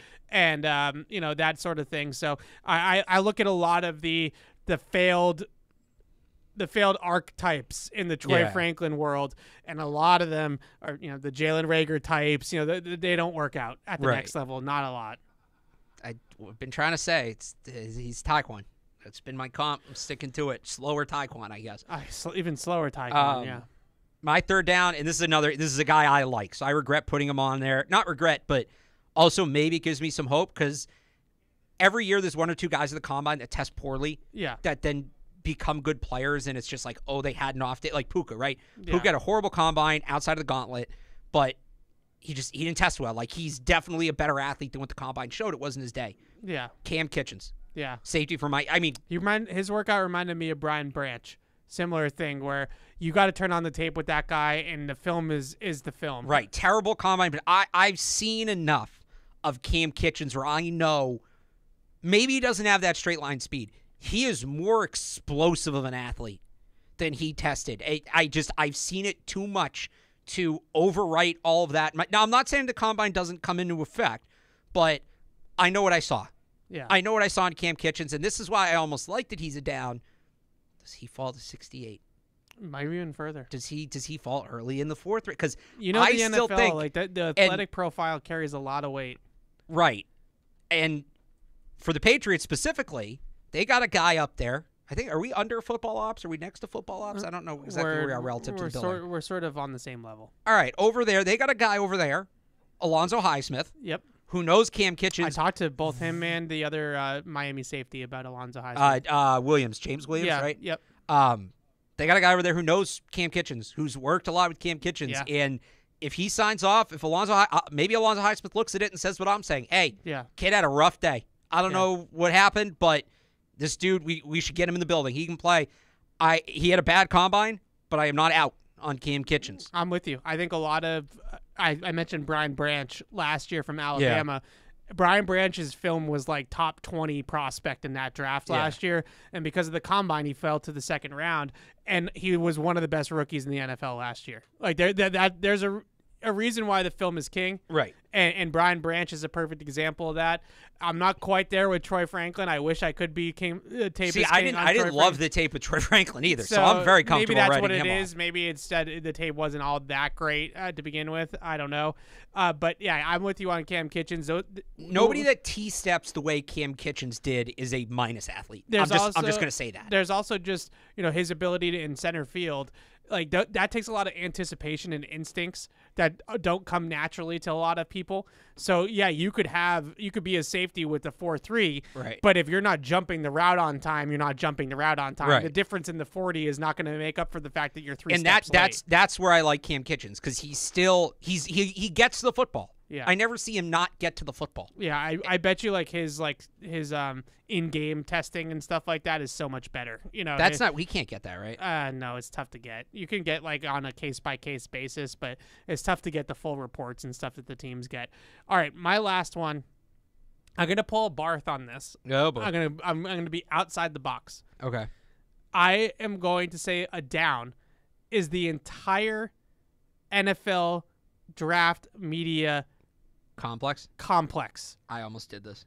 for hyping up JJ McCarthy I almost did this, And and, I feel telling- like I've got dug too into it the last couple days. and telling everybody that what they're seeing isn't what they're seeing and lying blatantly because for some reason someone in a high ranking position or someone's in high ranking positions in the NFL in a front office in Michigan Jim Harbaugh I don't know but somebody No, you said who it was. Jim Harbaugh Yeah. Somebody is running a PR campaign for this kid. And it's not only is it a disservice to fans that now think that JJ McCarthy is QB3 or QB2 or whatever, it's also a disservice to JJ McCarthy. Massive disservice to J. So I was going to put Yeah. how I was going to I was going to put JJ McCarthy as a down and say he was fine because he was he was fine. I don't want to say like he he- had yeah. a terrible combine. He was okay. Yep. Which great. He was okay. The the hype around him is unfair because he's Yeah. not he's not going to live up to it. He's not. And No, You- at least not right away. I'm watching the combine, Evan, and I'm watching him throw, and he's missing receivers, especially to the left. Yep. And Which is all over the film too, by the way. I'm like, finally, we're going to hear it calm down. Because first off, first off, I'm sorry, the build up to the throwing session. Get the hell out of here. Yeah. With the build up. Oh my, just wait. Oh, you think it's crazy that I'm saying JJ McCarthy could go through. Wait till you see him throw. NFL teams can't wait to see him throw. When he throws, he's going to prove. Evan, the way they talked about it, I knew this would get him going. the way they talked about it, it was like Yeah. the fourth time I've done this rant in the last uh, week. yeah. Grown men were going to weep.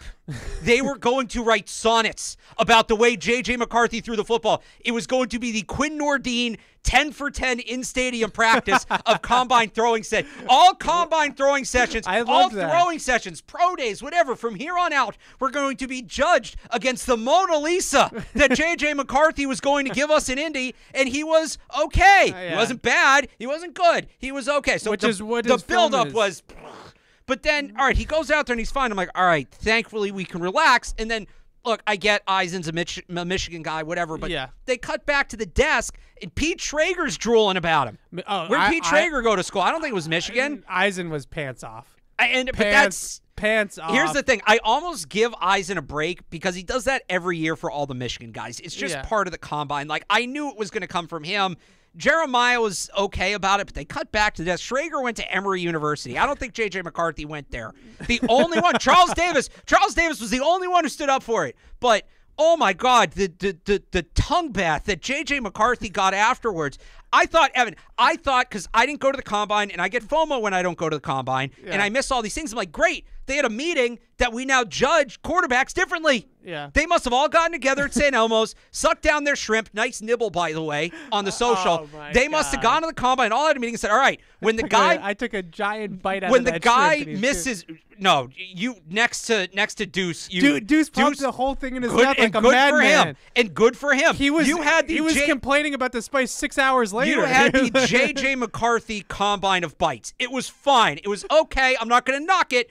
Deuce You're- had you're knocking it. Deuce right had so the do. AD Mitchell combine of bites. But I'm like, great. They went to St. Elmo's and they had this meeting that when you throw the ball 10 feet over the guy's head on a 15 yard out route, suddenly that's what we're looking for. I have no idea where any of that came from. And before I get called a JJ McCarthy hater, You I feel bad for the kid. I that's that's where I'm I feel bad for the kid. and 'cause I he's mean, never going to live up to that. I mean it so sincerely. I mean it 100% with sincerity that all this is this is a disservice to JJ McCarthy Yes. because maybe NFL teams cooler heads prevail with the actual league and he's Will Levis and he ends up dropping to the top Right. of the second round, which is probably where he should But go. it was a disservice to Will Levis at the time because everybody was hyping him up this year. And it, I go back to Trey Lance. yeah. I go back and, and we hyped up Trey Lance. Now we weren't as I experienced missed, in I missed I missed on Trey Lance. Trey. Lance was the same because it's it's the same thing as McCar- It's a little different because he's at FCS, but there's just not enough evidence Yeah. to prove that this guy is capable of what people are saying he's capable of, and that doesn't mean he's bad. I think if you feel strongly one way or the other about JJ McCarthy, you're kidding yourself. If you think he's great, you're kidding yourself. If you think he sucks, you're kidding yourself. He is a wild card. He's a blank canvas. Again, the bowl's empty. There may be ice cream in it someday, but right now it's just an empty bowl. I also just feel like the team that drafts JJ McCarthy, and let's say the league buys into this hype and he gets and overdrafted, His his ultimate success is going to. I mean, it matters for base is- everybody, but that fan base is going to kill him. oh yeah, Minnesota, Atlanta, New York. Well, if but he here's goes the to thing, the like, Giants, oh, boy, Minnesota or the be- Jets. I, I and I always say this that the ultimate outcome is so heavily dependent on where the player goes, more than people Yeah. realize. I think for JJ McCarthy, it's even more so Yeah. dependent on the location. Minnesota, assuming they get Kirk Cousins back, I actually kind of like for him. The Yeah. Jets, I kind of like for him. What's the Giants, you common theme? No, the Jets. You- oh, behind Aaron Rodgers. Right. What's the common theme here? I guess he could sit behind Daniel Jones. Yeah, Yeah. Okay. The Giants. I'll put the Giants on the list. If he goes somewhere and he has to play, like maybe not week one, but like if he's playing by October his rookie year, the wheels are going to come off that thing fast. Yeah. That's now. Now he's Zach Wilson. Congratulations. Now he's yeah, Zach Wilson. I, I just I feel like I always feel bad for these guys that get that get hyped like this, and it's a disservice to them because they're not going to live up to it at the next level. Certainly not right away, and then people are already going to start bashing the pick and all this kind of. It's just it's not good for anybody. But to the, to your point though about the meeting at St. Elmo's that I also wasn't invited to, Yeah. where they that's the biggest thing that frustrates me with JJ McCarthy is I I I trust my eyes maybe a little bit too much, but I do trust that I know what I'm looking at when it comes to this stuff. And I just don't I don't see the top 10 talent that he's being touted as and it just drives me nuts. Like I feels like I'm taking crazy pills. Like I don't know I don't know what you're watching. And then I listen to people uh, you know, I, I sent you that clip from Greg Cosell, Yeah. who's another guy. I met him for the first time at the combine this year, and it was really cool to talk to him. Another guy that I look up to that just watches film all day, every single day, and he goes on a two-minute rant about how JJ McCarthy is not even close. He's not even close. so the And, and so I know the people that are watching the tape agree with me. I know the people that are actually sitting down and studying the film agree with what I'm saying, which tells me that JJ McCarthy has a hype man. It's probably Jim Harbaugh that's in the NFL that's telling all these media people how good he is. yeah. A- and that is where this is all coming from. Yeah. And and to be fair, maybe they're misconstruing him because Harbaugh said he could be the best Michigan quarterback since Brady. That that's not as high of a bar as it sounds. It's really not. It's really all right. He has to be better than. I think he could be better than Chad Henne. I think that's a very realistic expectation. All right, let's for JJ McCarthy, let's, but let's, yeah, let's move off of JJ McCarthy and uh, who, who do you have? It's left on your list. I think that was it. Bo Nix, Troy Franklin, Cam Kinchens. Okay, so uh, that, there's your combine wrap up. Hope you enjoyed Oh, I it. have one thought on the defense. We didn't talk about like any defense players. That's okay. You talked about Cam Kinchens. I did, but no one. I'm just curious if you agree on this. The entire defensive portion of the combine to me, chalk. Every guy tested exactly how I thought I he tested. never. I like I said earlier. We the combine is made for people like you and me. Yeah. I have never slept through a combine for a defensive performance that I did this year. And I at first I had was no interest. I couldn't care less. I was not into it at all. It was, in some of that I think it does stem from the fact that the best defensive player is probably Dallas Turner, and he he's might not like he's going to be late. So I the, thought in the some fir- of it- in the top ten. Like he's not even like you know it's not like they Yeah. have like a Myles Garrett in this draft either. So it's not a really great draft. I thought some of it was also like, oh, the Pats don't really need a defensive player, but no, it's just like I'm trying to find like because afterwards I'm writing like my takeaways and like who was good, who was bad, and it was so hard to find guys that weren't just yeah he tested how we thought he was going to test. Yeah, Like eh, it was just it was chalk, it was boring, it was that's not a bad thing. Yeah. It's not it's not to say it's a bad class. It's just they're like It, it's kind of a bad class.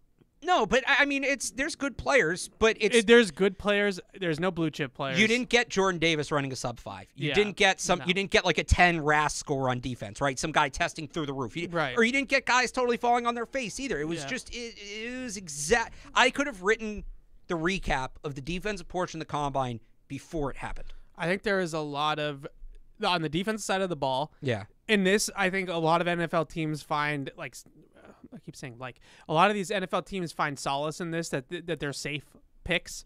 There's a lot of safe picks in this draft on defense that are they going to be Myles Garrett? Are they going to be Nick Bosa? Are they going to be those types of game changers? Are they going to be corners that are, are stud Sauce Gardner type corners? No, but there's a lot of really good football players that are just going to be solid, solid football players, NFL yeah. players for a while. Especially, I would say, an edge defender, and you know how many nickel corners are in this draft? So corners. many. If you need, the Patriots don't necessarily need a slot corner, uh, but there's so many have sl- enough of those. slot corners in this draft. The kid from Michigan, uh, I was really good. Uh, was it Centarelli? Cent, Cent, Oh, Sa- uh, Sanders still. yeah, I yeah. actually, re- I, I wouldn't sorry hate I if the, butchered that name. well, he's a local guy. I know we, Everett. we met and we met his parents on Oh, the, did you? on the plane ride back. So I feel really bad. And I, that he had he had that. an interview. He had a really cool interview too. He's having a kid. Yeah. Um, yeah. I wouldn't hate if the Patriots added him, like, or if he falls to early day three, which feels possible Oh, but no, not probable. According to his dad, he's a first round pick. oh, I mean, good for his dad. no, they're really nice people. I don't mean to. Um, if Belichick was still here, I'd be saying they were going to take him in the second round. yeah, because he, he's he's he- a football player. he. Not only does he, here's what's so impressive about him. He's not one of these guys like plays boundary corner, he plays slot corner, he plays box safety, he plays free safety, and you think, all right, wow, that's like a lot. That's impressive. He was recruited to Michigan as a receiver. yeah, So not only does he play all the positions on defense, he just started doing that two years ago, and he already learned them all. So he's a super impressive player. Again, I'd love to see him in New England. I don't know just where he's projected to go and what the Patriots need, where it works. I think he's a day two pick. He's definitely a guy four years from now we'll be talking about in free agency. yeah, Uh, but he wherever he goes, unless I guess it's Buffalo, I'm going to be rooting for him. Yeah, and no, Buffalo yeah. needs him because they have no more football players. local kid, great family, great parents. They're super nice. Never seen Mike Dussault smile so so big that he was talking to to his family on the way back. Uh, yeah, it was it. That's what the defense is, though. To me, edge defenders, decent edge defender class, good depth to the edge defender class. If you need a nickel corner, there's like 500 of them. Uh, other than that, uh, I wasn't overly wowed or uh, with any of these guys at the at the Senior Bowl uh, anywhere. I think they're all just kind of are what they are, you know, run of the mill average NFL football players. Uh, but there's nothing wrong with that. You know that those guys are valuable, and you need to have those guys around too. Right. Uh, let's get into some free agency. No phone. Sorry about that, guys. Uh, I'm sure we'll have. Actually, I did get I did get one question on YouTube. I don't know. You might not be able to answer this. Um, so just somebody because you said you talked to Greg Cosell. Oh Yeah. no, you Yeah, I did. No, but you didn't talk to him about McCarthy. You saw the clip of McCarthy. I saw a clip of McCarthy. I just, I just. Oh, somebody somebody asked if he said anything about Drake Maye. Uh, so he do- he's not a big Drake Maye fan Okay. either. I think that you know he's one of those guys, and uh, I don't want to get. I, I've already uh, you know ragged on like Chris Sims and those people enough. Yeah.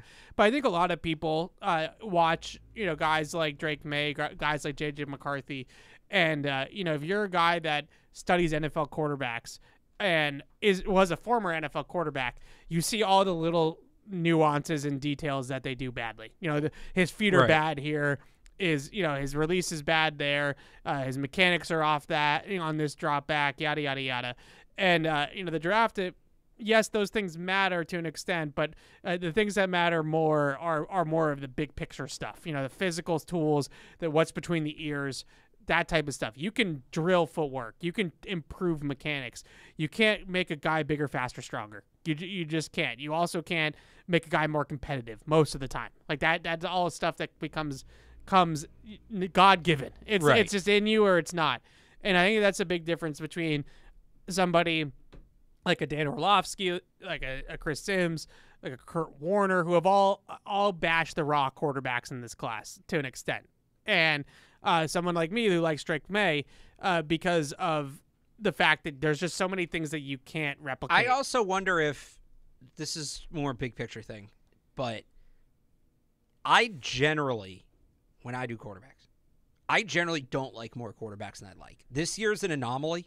And by the way, it was an anomaly before we knew the Patriots were going to be taking one. Like, you know, I've been high on this quarterback class since last year. yeah, But I do feel like there's people, whether consciously or subconsciously, or whether like on purpose or subconsciously, that just know, hey, most quarterbacks don't work. right, So if I'm out on all of them, odds are I'm going to be right more than I am wrong. yeah, And I do think there's, and I've been guilty of that at times where if I'm 50 50 on a quarterback, my gut instinct is, my gut, if I'm 50 50, my gut instinct's to be out because I'm playing the odds at that point.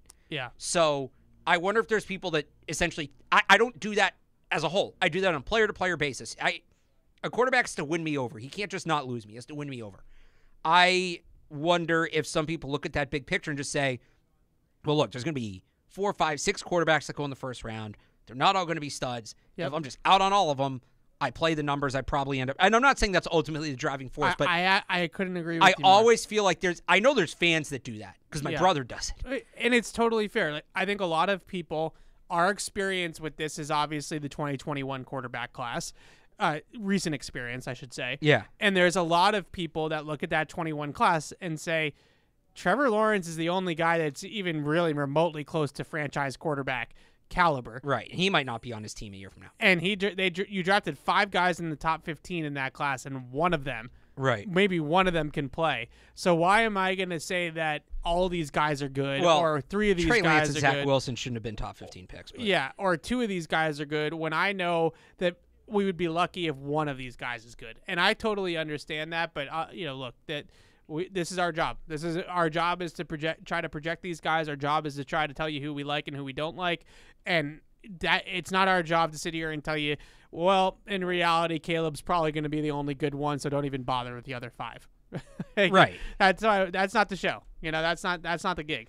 Um, I even said I do I, I don't remember if I said it on this show. I don't remember what show I said on where uh, part of me too, especially with Drake Maye, is like I missed the boat on Justin Herbert. Mhm.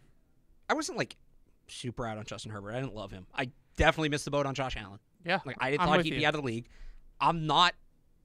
That's a big part of my basis for liking Drake Maye. Like if I'm being honest, is I've seen enough guys with that skill set now that even if I personally don't like the skill set, it translates. Like I'm seeing the evidence, and there's there's less misses of that skill set in between. yeah. So I, I just think Yep. there's there's there's an element of that. In it, too. So I I was out on Josh Allen. I thought people were crazy with Josh Allen. you loved no, shut up. You loved Josh Allen. not in the draft. Oh no, you love.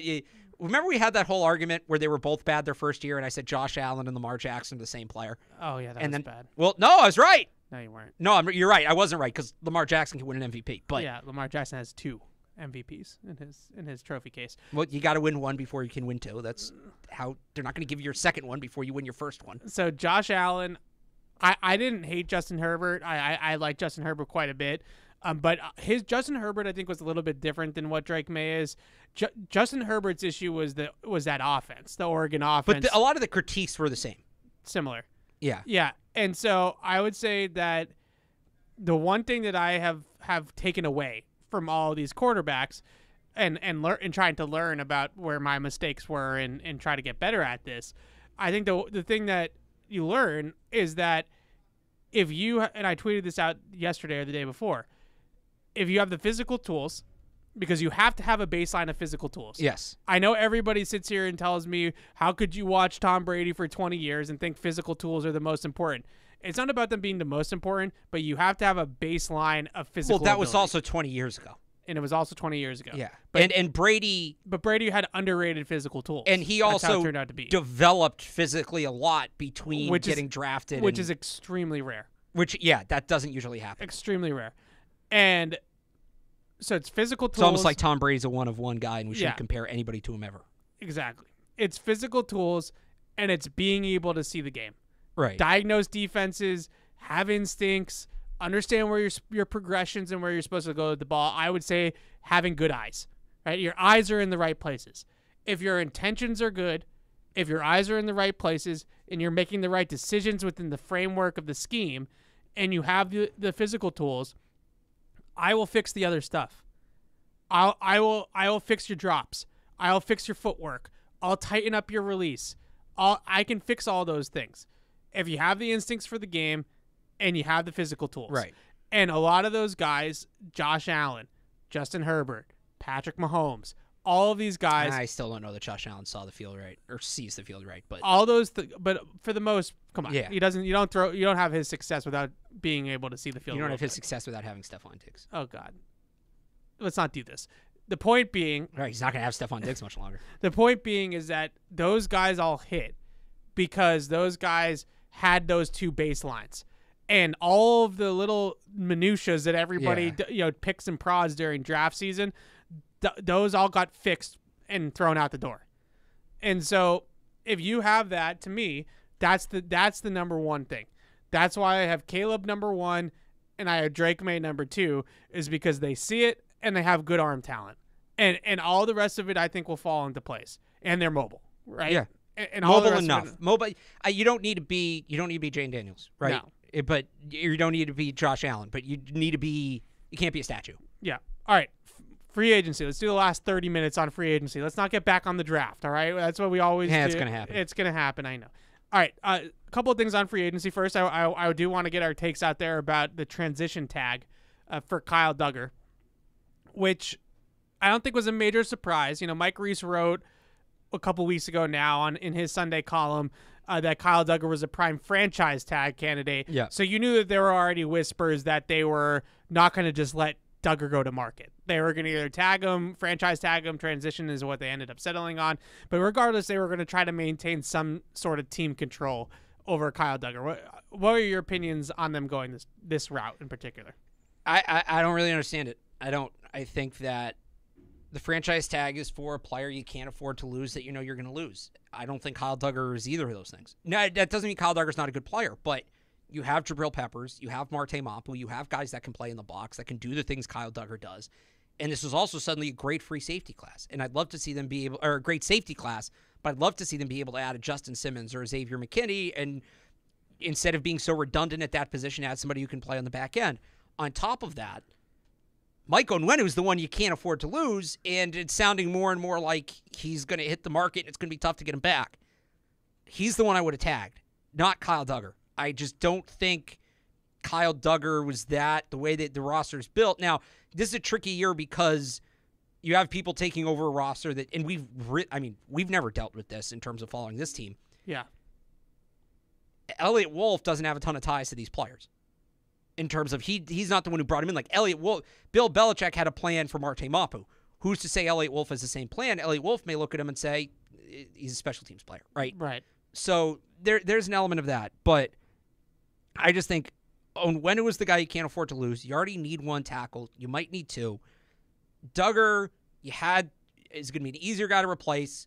I think would have been an easier guy to negotiate with too. Just Mike Onwenu. It's nothing against Michael Onwenu for acting as his own agent, but that's there's a level of complexity there that just doesn't exist with other players. And, the, and Kyle Dugger's agent is a long time. Uh, who's Devin McCourty's agent, Yeah. Jason Yeah. McCourty's agent. Uh, they have a really good relationship. I I, I would have tagged if you're going to tag some. And look, if they were worried that they were going to tag Onwenu and he was going to hold out and they weren't going to have him, like fine. I just think it was a lot of money. It's almost twenty two million dollars. Well, one, the goal should be to extend him. It well, no, because they could use transition tag. They still could use transition tag. they could have. And, and the transition okay, tag so makes sense here. this. Wait, hang on. The transition tag makes sense here because you go to when you say we think you're a guard, you think you're a tackle. The league thinks you're a tackle. Will agree. Go out there. Um, then don't tag anybody. Then don't tag anybody. I, I would. I'd love for them to have more flexibility at the safety position than they do right now. Okay, so here here's my rebuttal because I actually I, I I like Kyle Dugger uh, as a player. I like him as a player too, but it's it's you're, it's not about collecting talent. It's about building a team. So here's the thing. That still holds true. I the couple reasons why um I would like to keep Kyle Dugger around. One, we just talked about this uh, with the quarterbacks. If he was coming off his 2022 season, would you feel differently about him staying around? If they also had Peppers coming off the season he just had, not entirely. So here's my thought on that. I wonder. I think Peppers is a good player. I love his attitude. Yeah. I love him in the locker room. I love. I want to keep him around. All those things. I don't think that Peppers. I think Peppers. I think his 2023 season was similar to Kyle Dugger's 2022 season, where the ball just kind of found him a lot. And I think he see. I think he found the ball because that's the player he's always been. He's been that since college, maybe I. and he was just coming off an injury. I think it's in really hard. First of all, just off the top, Yeah. I think it's a real Kyle Dugger is a guy that in a in a bad era for Patriots drafting, Yeah. he was a top pick, not first round pick, but a top pick because of where they picked that So year. I, I I get I that get they that. drafted, they developed into a quality starter, and is one of their guys, and he's one of Jerod Mayo's guys. Like Jerod Mayo was in the building for that yeah, whole time. Look, I I- let me let me be clear about. That. I'm not saying kick Kyle Dugger to the curb. I'm saying when we are specifically talking about the franchise tag. yeah, So everything you're just saying is all the more reason to actually go out and give him a. You franchise tag somebody because you don't want to give him a fair deal. That's what that is. yeah. You franchise tag somebody because you don't want to pay him what they're worth. If Kyle Dugger is this important to the organization, pay him what he's worth. I think they will.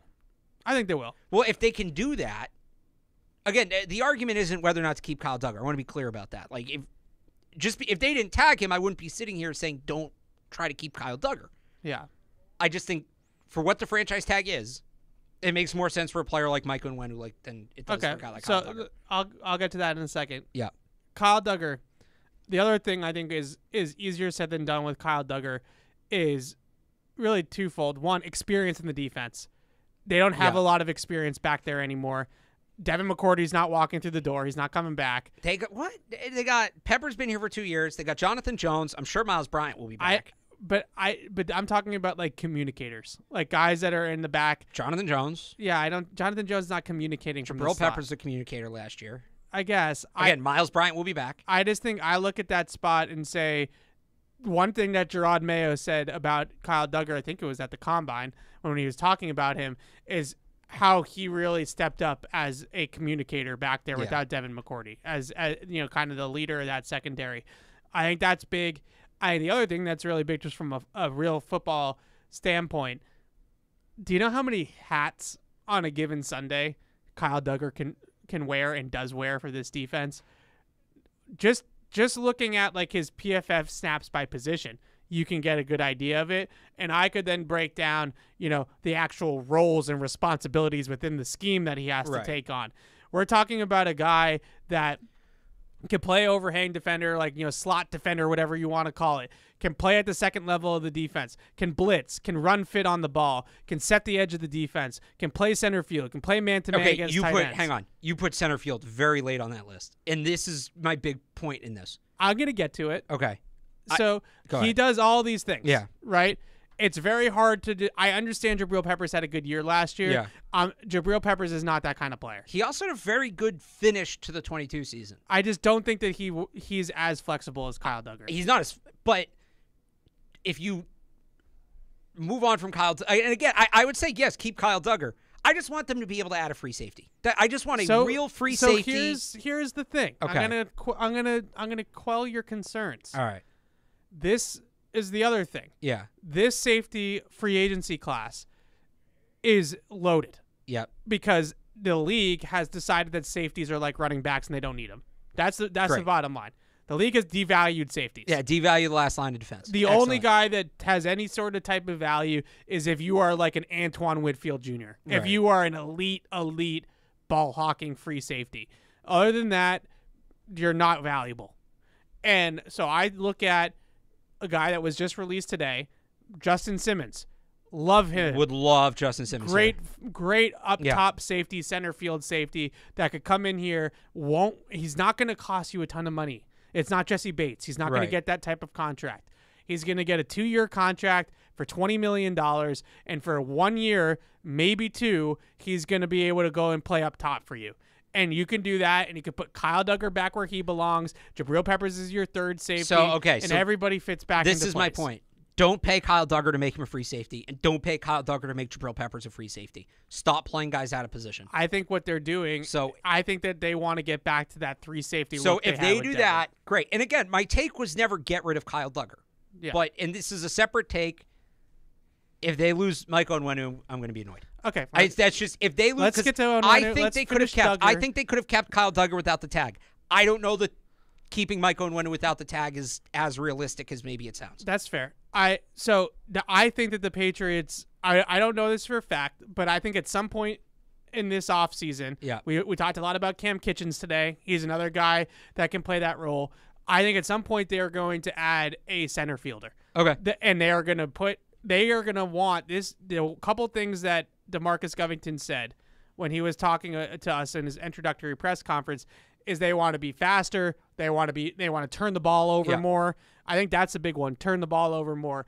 If you can put Kyle Dugger and Jabril Peppers back near the football together, Yeah. now you have two guys that can go get the football and can make plays on the football. And, and then you have the, the guy playing post, you know, the Duron Harmon playing post safety, and he's just doing his job back there. Right. And, and I think that that's sort of what the, the the idea is. Will they be at the top of the market of, you know, Xavier McKinney, who's probably going to make some money? I don't know. Maybe it's Justin Simmons, who's now a, a depreciated asset. You know, I mean, I would take cut. Simmons. I Simmons. I you make it sound like Simmons is a, a consolation prize. I wouldn't go that far. I'm not saying he's a consolation prize. He's just older and and isn't you know at the top. All right, but he gets you anymore. through. But he gets you through until you can draft a guy or whatever. The one Yeah. other guy is Geno Stone. I wonder if they. Yeah, any one of those Yeah. guys. I think uh, those guys are all in play, and I do think that they want to get back to the Devin McCourty thing, and I think it relates back to Jerod Mayo played in some of those defenses with Chung, McCourty, Harmon, and they had very specific. This was your job. Yeah. This is your job on third down. We all knew, and Devin McCourty told me this at the beginning of last year, which was he what he felt was going to be the biggest hurdle for the group last year was when the money's on the line and it's third down in the game in the fourth quarter. Who's doing what? Whose responsibility is what? This, I think, they would like to define the roles a little bit better back there than what they had this year. So I think you're getting your free safety. If I get the free look, it's it's essentially two different takes. A I long want, way of telling you that I think you're going to get what you want. I want them to add a free safety, and that would be great. I just I I, I worry about what the line's going to look like without Mike Onwenu. Okay, so let's talk about Mike Onwenu. That's obviously the other big one to drop. And I say this as somebody that I I, I think Mike Onwenu can play in any in any scheme, and I think he, he's a really rock solid offensive lineman. I I talked to uh, Brandon Thorne. You know Brandon Thorne, right? Yeah. O- offensive line guru. Uh, hopefully, Big uh, JJ McCarthy guy. is he? Oh yeah, I think s- I No, Is that what no. I'm thinking of? No, who's uh Thor? Yeah, different guy. Okay. Yeah. Uh, so Brandon Thorne trust his eye on offensive line a ton. And uh, he, he we were talking about the different options for the Patriots and, and whatnot. And he's he tell, told me that he watched every single snap Mike Onwenu played at tackle last year, and he said that his pass protection tape was terrible at Okay. right tackle. I, I just I don't see Mike Onwenu as a tackle. And I look at this regime and I know they want to be more wide zone heavy. I know they want to do that more under AVP. That that that's really what Cleveland was all about until they couldn't be all about that. And I, I really feel like you have to have the conversation of positional value at guard and scheme fit with Mike Onwenu. I don't think it it probably turns out that it doesn't matter, right? Like he's good enough that it probably doesn't matter. But I, I do wonder where they're at in terms of his va- overall value uh, when you factor in the whole big picture.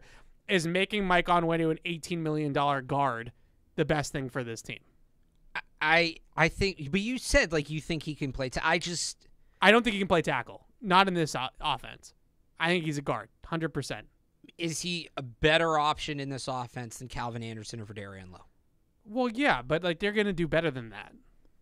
There's not much in terms of options. There aren't much to do It- better. there's a million unless you, tackles in the unless draft. you had a home run in the draft. But like you got to nail that pick now. And does that become 34? Now what are you doing at receiver? Yeah, I think it becomes 34. I would think your receiver. We talked about this. They they can get receivers at 68.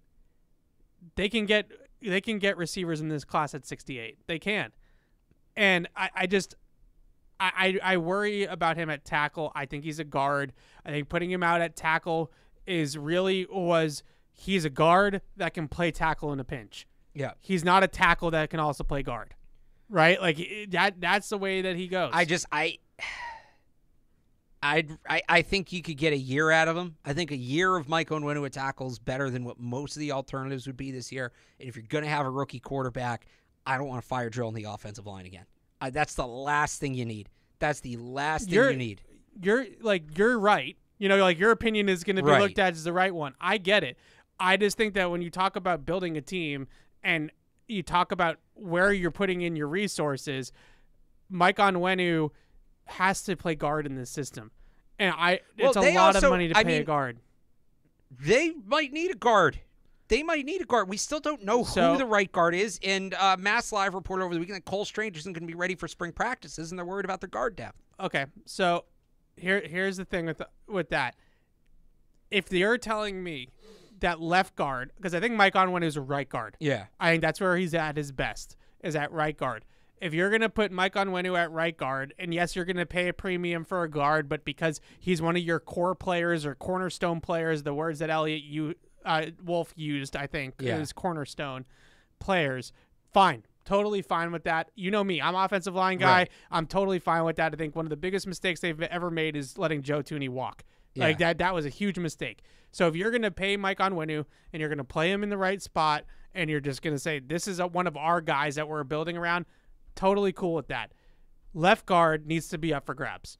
It ain't Cole Strange's job because Sidy Sow I Sounds think like it might not be. I think Sidy Sow had better film than Cole Strange has over the first two years. So I would put Sidy Sow at left. I put Mike Onwenu at right. You obviously have David Andrews in the middle. That's a pretty good start. I get. I just. I I really worry about what it's going to look like with a young quarterback back there. With if you take Mike Onwenu out, we don't know what Cole Strange. I'm not taking Mike is. Onwenu out. I'm just I don't want No, to pay him no, as a tackle. I I don't want to play him at tackle. I would for the year just because I don't I don't think it's not a good option, but I think the other options are worse. When you if they had a Do you solid think? Do you think? Let me ask you this: Do you think Jonah Williams is worse? okay, what are you doing at left tackle? Well, that, that's not the question. No, but here so let me say what I was about what I was about to say was if they had a left tackle, I'd be totally on board with you. Right. Because you can add one starting tackle and we, we always talk about this, right? Four of the five. If you have four of the five, you can cover up the fifth spot. And by the way, I think that's part of the reason. I think Owen was a better tackle than you do, also, just because I think he was overcompensating for a lot last year, and I think that hurt him. Maybe. I mean, he he he gives up his his edge a lot. He gets run around a lot. I look at all right. If there's one spot you're going to cover up, you have to have four of the five. Okay, so you sign Jonah Williams. That's one tackle. Yep. Are you also signing Tyron Smith? Are you Banking? Are you so sure at 34 you're going to get a starting caliber tackle? I would say that you're go you're Because you're already probably covering up at one of your guard spots. why Because we don't know Cole Strange is going to be ready to start season. I I'm out with Cole Strange. All right, so you're covering up at left guard then. No, you're playing Sidy at left guard. All right, what are you doing at right guard? Mike Onwenu. I'm saying if Onwenu doesn't come back. Why is Onwenu not coming back? Because this was your your hype that you signed No, Jonah I- Williams. Are you signing Jonah Williams and Mike Onwenu? Yes. Oh, I'd be okay with that. Thank you. All right. Just don't play Onwenu at tackle. Not in this system. It doesn't work. I don't like it. Onwenu at guard, Jonah Williams at right tackle. I think Jonah Williams is a right tackle. Yeah. Ideally, worst case scenario, you, if you, the rookie isn't ready, then you can flip Jonah to the left side, and Jonah's the left tackle for a year. And then who's at right tackle? Then you probably have to put Mike back out at right tackle, which I don't like. But if that that's like the that's the worst. Case. But okay, scenario. so to bring it back to the original point, to bring it back to the original point, yes, it all gets a lot harder without Mike Onwenu on the roster. yeah, I'm not letting him walk. I just want to make sure that we are aware of where he's going to play. And the fact is, is that your your allocation of resources of paying a right guard 16 17 18 million dollars isn't great it's fine especially if you hit on the pick on the rookie right like You have it- to hit on that pick. I mean, you have to hit on so that pick. basically what just to to because we've been all over the place Yeah. so to sum it up what i would do on the offensive line from left to right left left tackle probably a rookie Yeah, worst case scenario left tackle jonah williams right yeah. left tackle rookie, left guard Sidy Sow, center David Andrews, right guard Big Mike, right tackle Jonah Williams. Yeah. That's what I would do. And maybe on the left side, maybe you sign somebody that's not that impressive, like a Jermaine Eluemunor or something like that, just to have an extra as insurance, as yeah. an extra veteran. Well, body. no, I think the idea is Mike Onwenu is your insurance because you can move Jonah Williams back over. I Yeah. would. I and that's if the guy that you drafted 34 is not ready. You, you know, if Kingsley Yeah. Suamataia is, is, I just said his name correctly in the night. butchered. Suamataia. Suamataia is not ready, then you can have Jonah Williams play left. I'd go. I'm just. I'm so worried about left tackle being the question mark. I'm so worried about that. I'd sign Tyron Smith. Get you through the year. He's not coming here. You don't think so? They can pay him the most. They, they you got to use that money somehow. You got to throw that money at somebody. I'd I'd give the bag Tyron Smith for a year. You get a year out of him. Kick the can down the road again at left tackle. Whoever You gotta you gotta Organize come out the- of this draft with one of these tackles. organize the middle. Well, so here's the thing: organize the middle however you want. And I guess yeah, if Mike, yeah, One of the ta- one of the ta- you gotta draft a tackle, and one of them's gonna one of your guys that you're counting on is gonna be a rookie. But you it's got to hit on that pick. Like it's a really good class.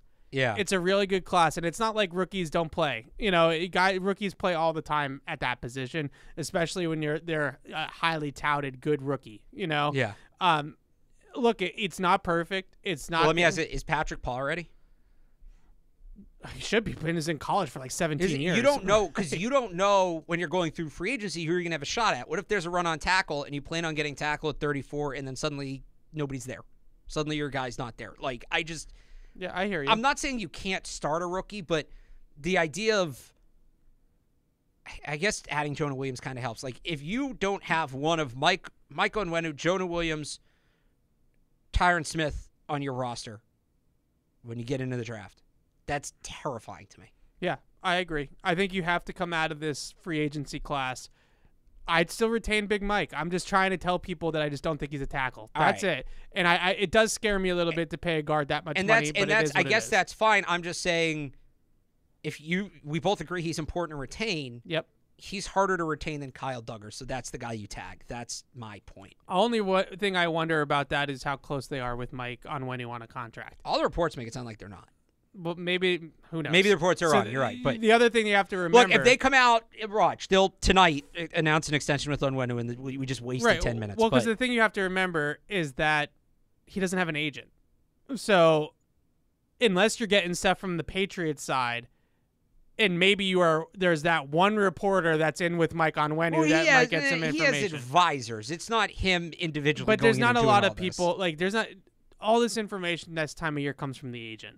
Yeah. all of it, and Yeah. there's no, there's no agent involved, so it, it's been pretty quiet. I would say, like there's maybe some rumblings. I don't know. I'm with you. I they can't let they can't let good offensive talent walk on the offensive line like they have the last couple years. They trade Shaq Mason, let Ted Karras go, let Joe Thuney go. They can't keep doing that. Uh, but I, I do think they need two tackles. Yeah, I mean, yeah, they do. No, they need two. ta- I mean, that's not a take. That's a they need. They don't have any tackles. But I'm talking about two guys that can start at tackle. Yeah, yeah. I don't think that's a take. I think that's just factual. But if you're okay, I'm not.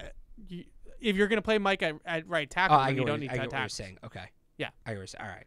I, I I just I will die on this hill about him being a guard. I'll Alright. die on this hill. Eh, I mean, their line didn't get monumentally better when they moved from the tackle last year or anything. So All right, uh, last couple of minutes here. Let's talk about some external guys. Uh, where are you on? So, where are you on this receiver class in free agency? Is there anybody that interests you? Anyone that tickles your fancy? Calvin Ridley. Let's start there. Like, are you a no on Calvin Ridley? Well, here's if you're going to be taking tackle at 34, I think you need to sign him as the bridge guy. But that's the thing. I think he's a bridge guy. He's going to be 30. I don't think he solves your long term. And you're not quarterback. You have to solve long term because that's you don't bridge quarterback. That's just not Right. what you do. Not in the the sense of the other positions. You can't solve tackle and wide receiver both long term. And I just I don't see a, this offseason. I don't see a long term answer Uh, unless you let me rephrase that. Unless you find your Puka Nacua, right? yeah. you're not going to clearly walk away from the offseason with tackle locked up long term and receiver locked up long term. I was hoping Unless maybe you trade down and don't take the quarterback. no, you got to take the quarterback. I'm saying you got to take the quarterback. That's a that's a non-starter for me. Okay. Um, is it not a non-starter for you? It's not a non-starter. Like I, I, the trade down scenarios are intriguing.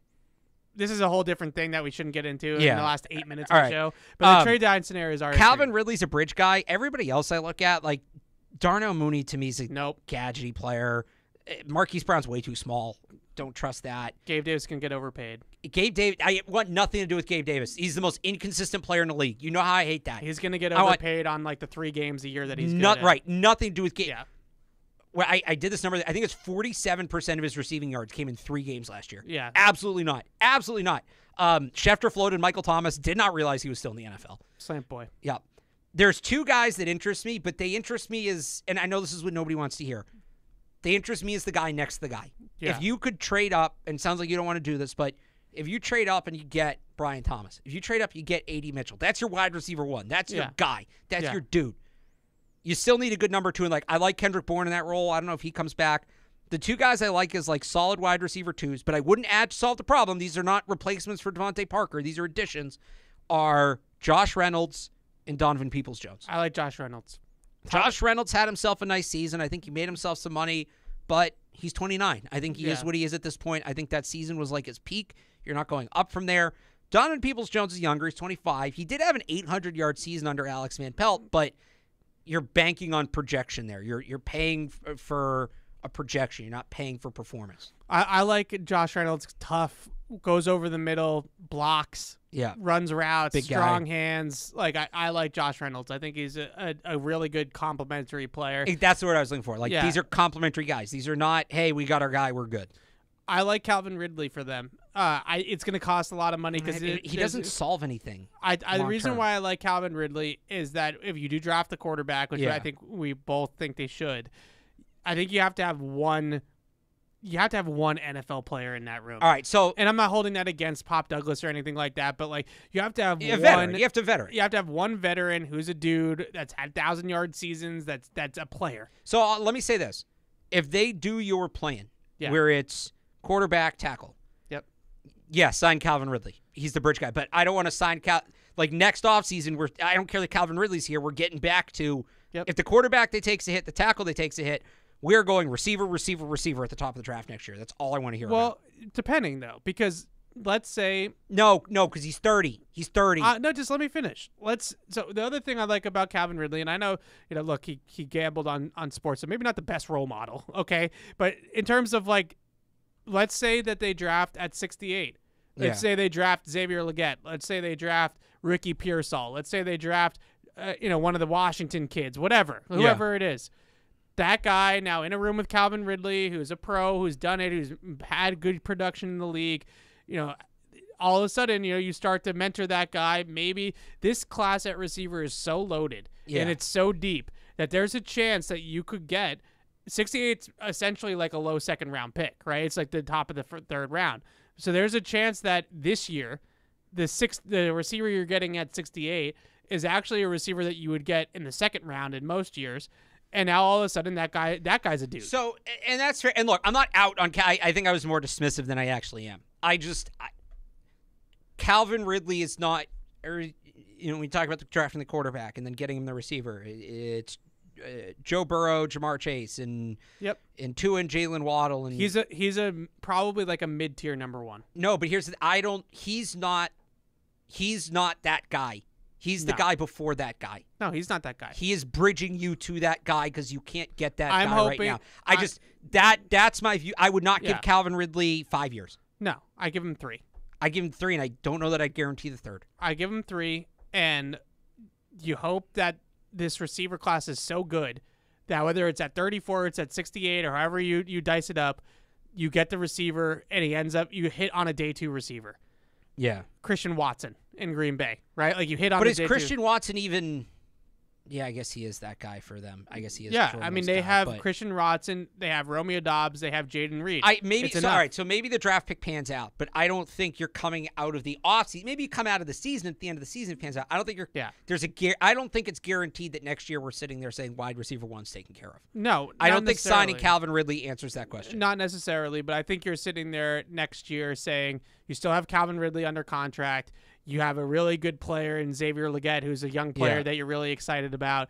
And then maybe you're still taking another receiver, but now that receiver is coming in to be your Ja'Marr Chase, and now all of a sudden you're the Bengals and you have three receivers, All and right. you, now, Yeah, now you're yeah. cooking with gas. Uh, I, I I like the idea of Calvin Ridley. I do. I don't like Darnell Mooney, Gabe Davis, all that tier. You can you can take it or leave it. Yeah. it's Kendrick Bourne, it's Nelson Agholor, it's it's those. At that point, pay. Kendrick Bourne. Yeah. At that point, or go down and get Josh Reynolds or Donovan. You're, do you have any interest in DPJ or no? Yeah, uh, because of his experience with AVP, uh, in you know the production that he had in the one year with AVP, it's it's not a terrible idea. All right. Uh, last one, tight end. Uh, just really quickly, I hear a lot that this isn't a very good free agent tight end class.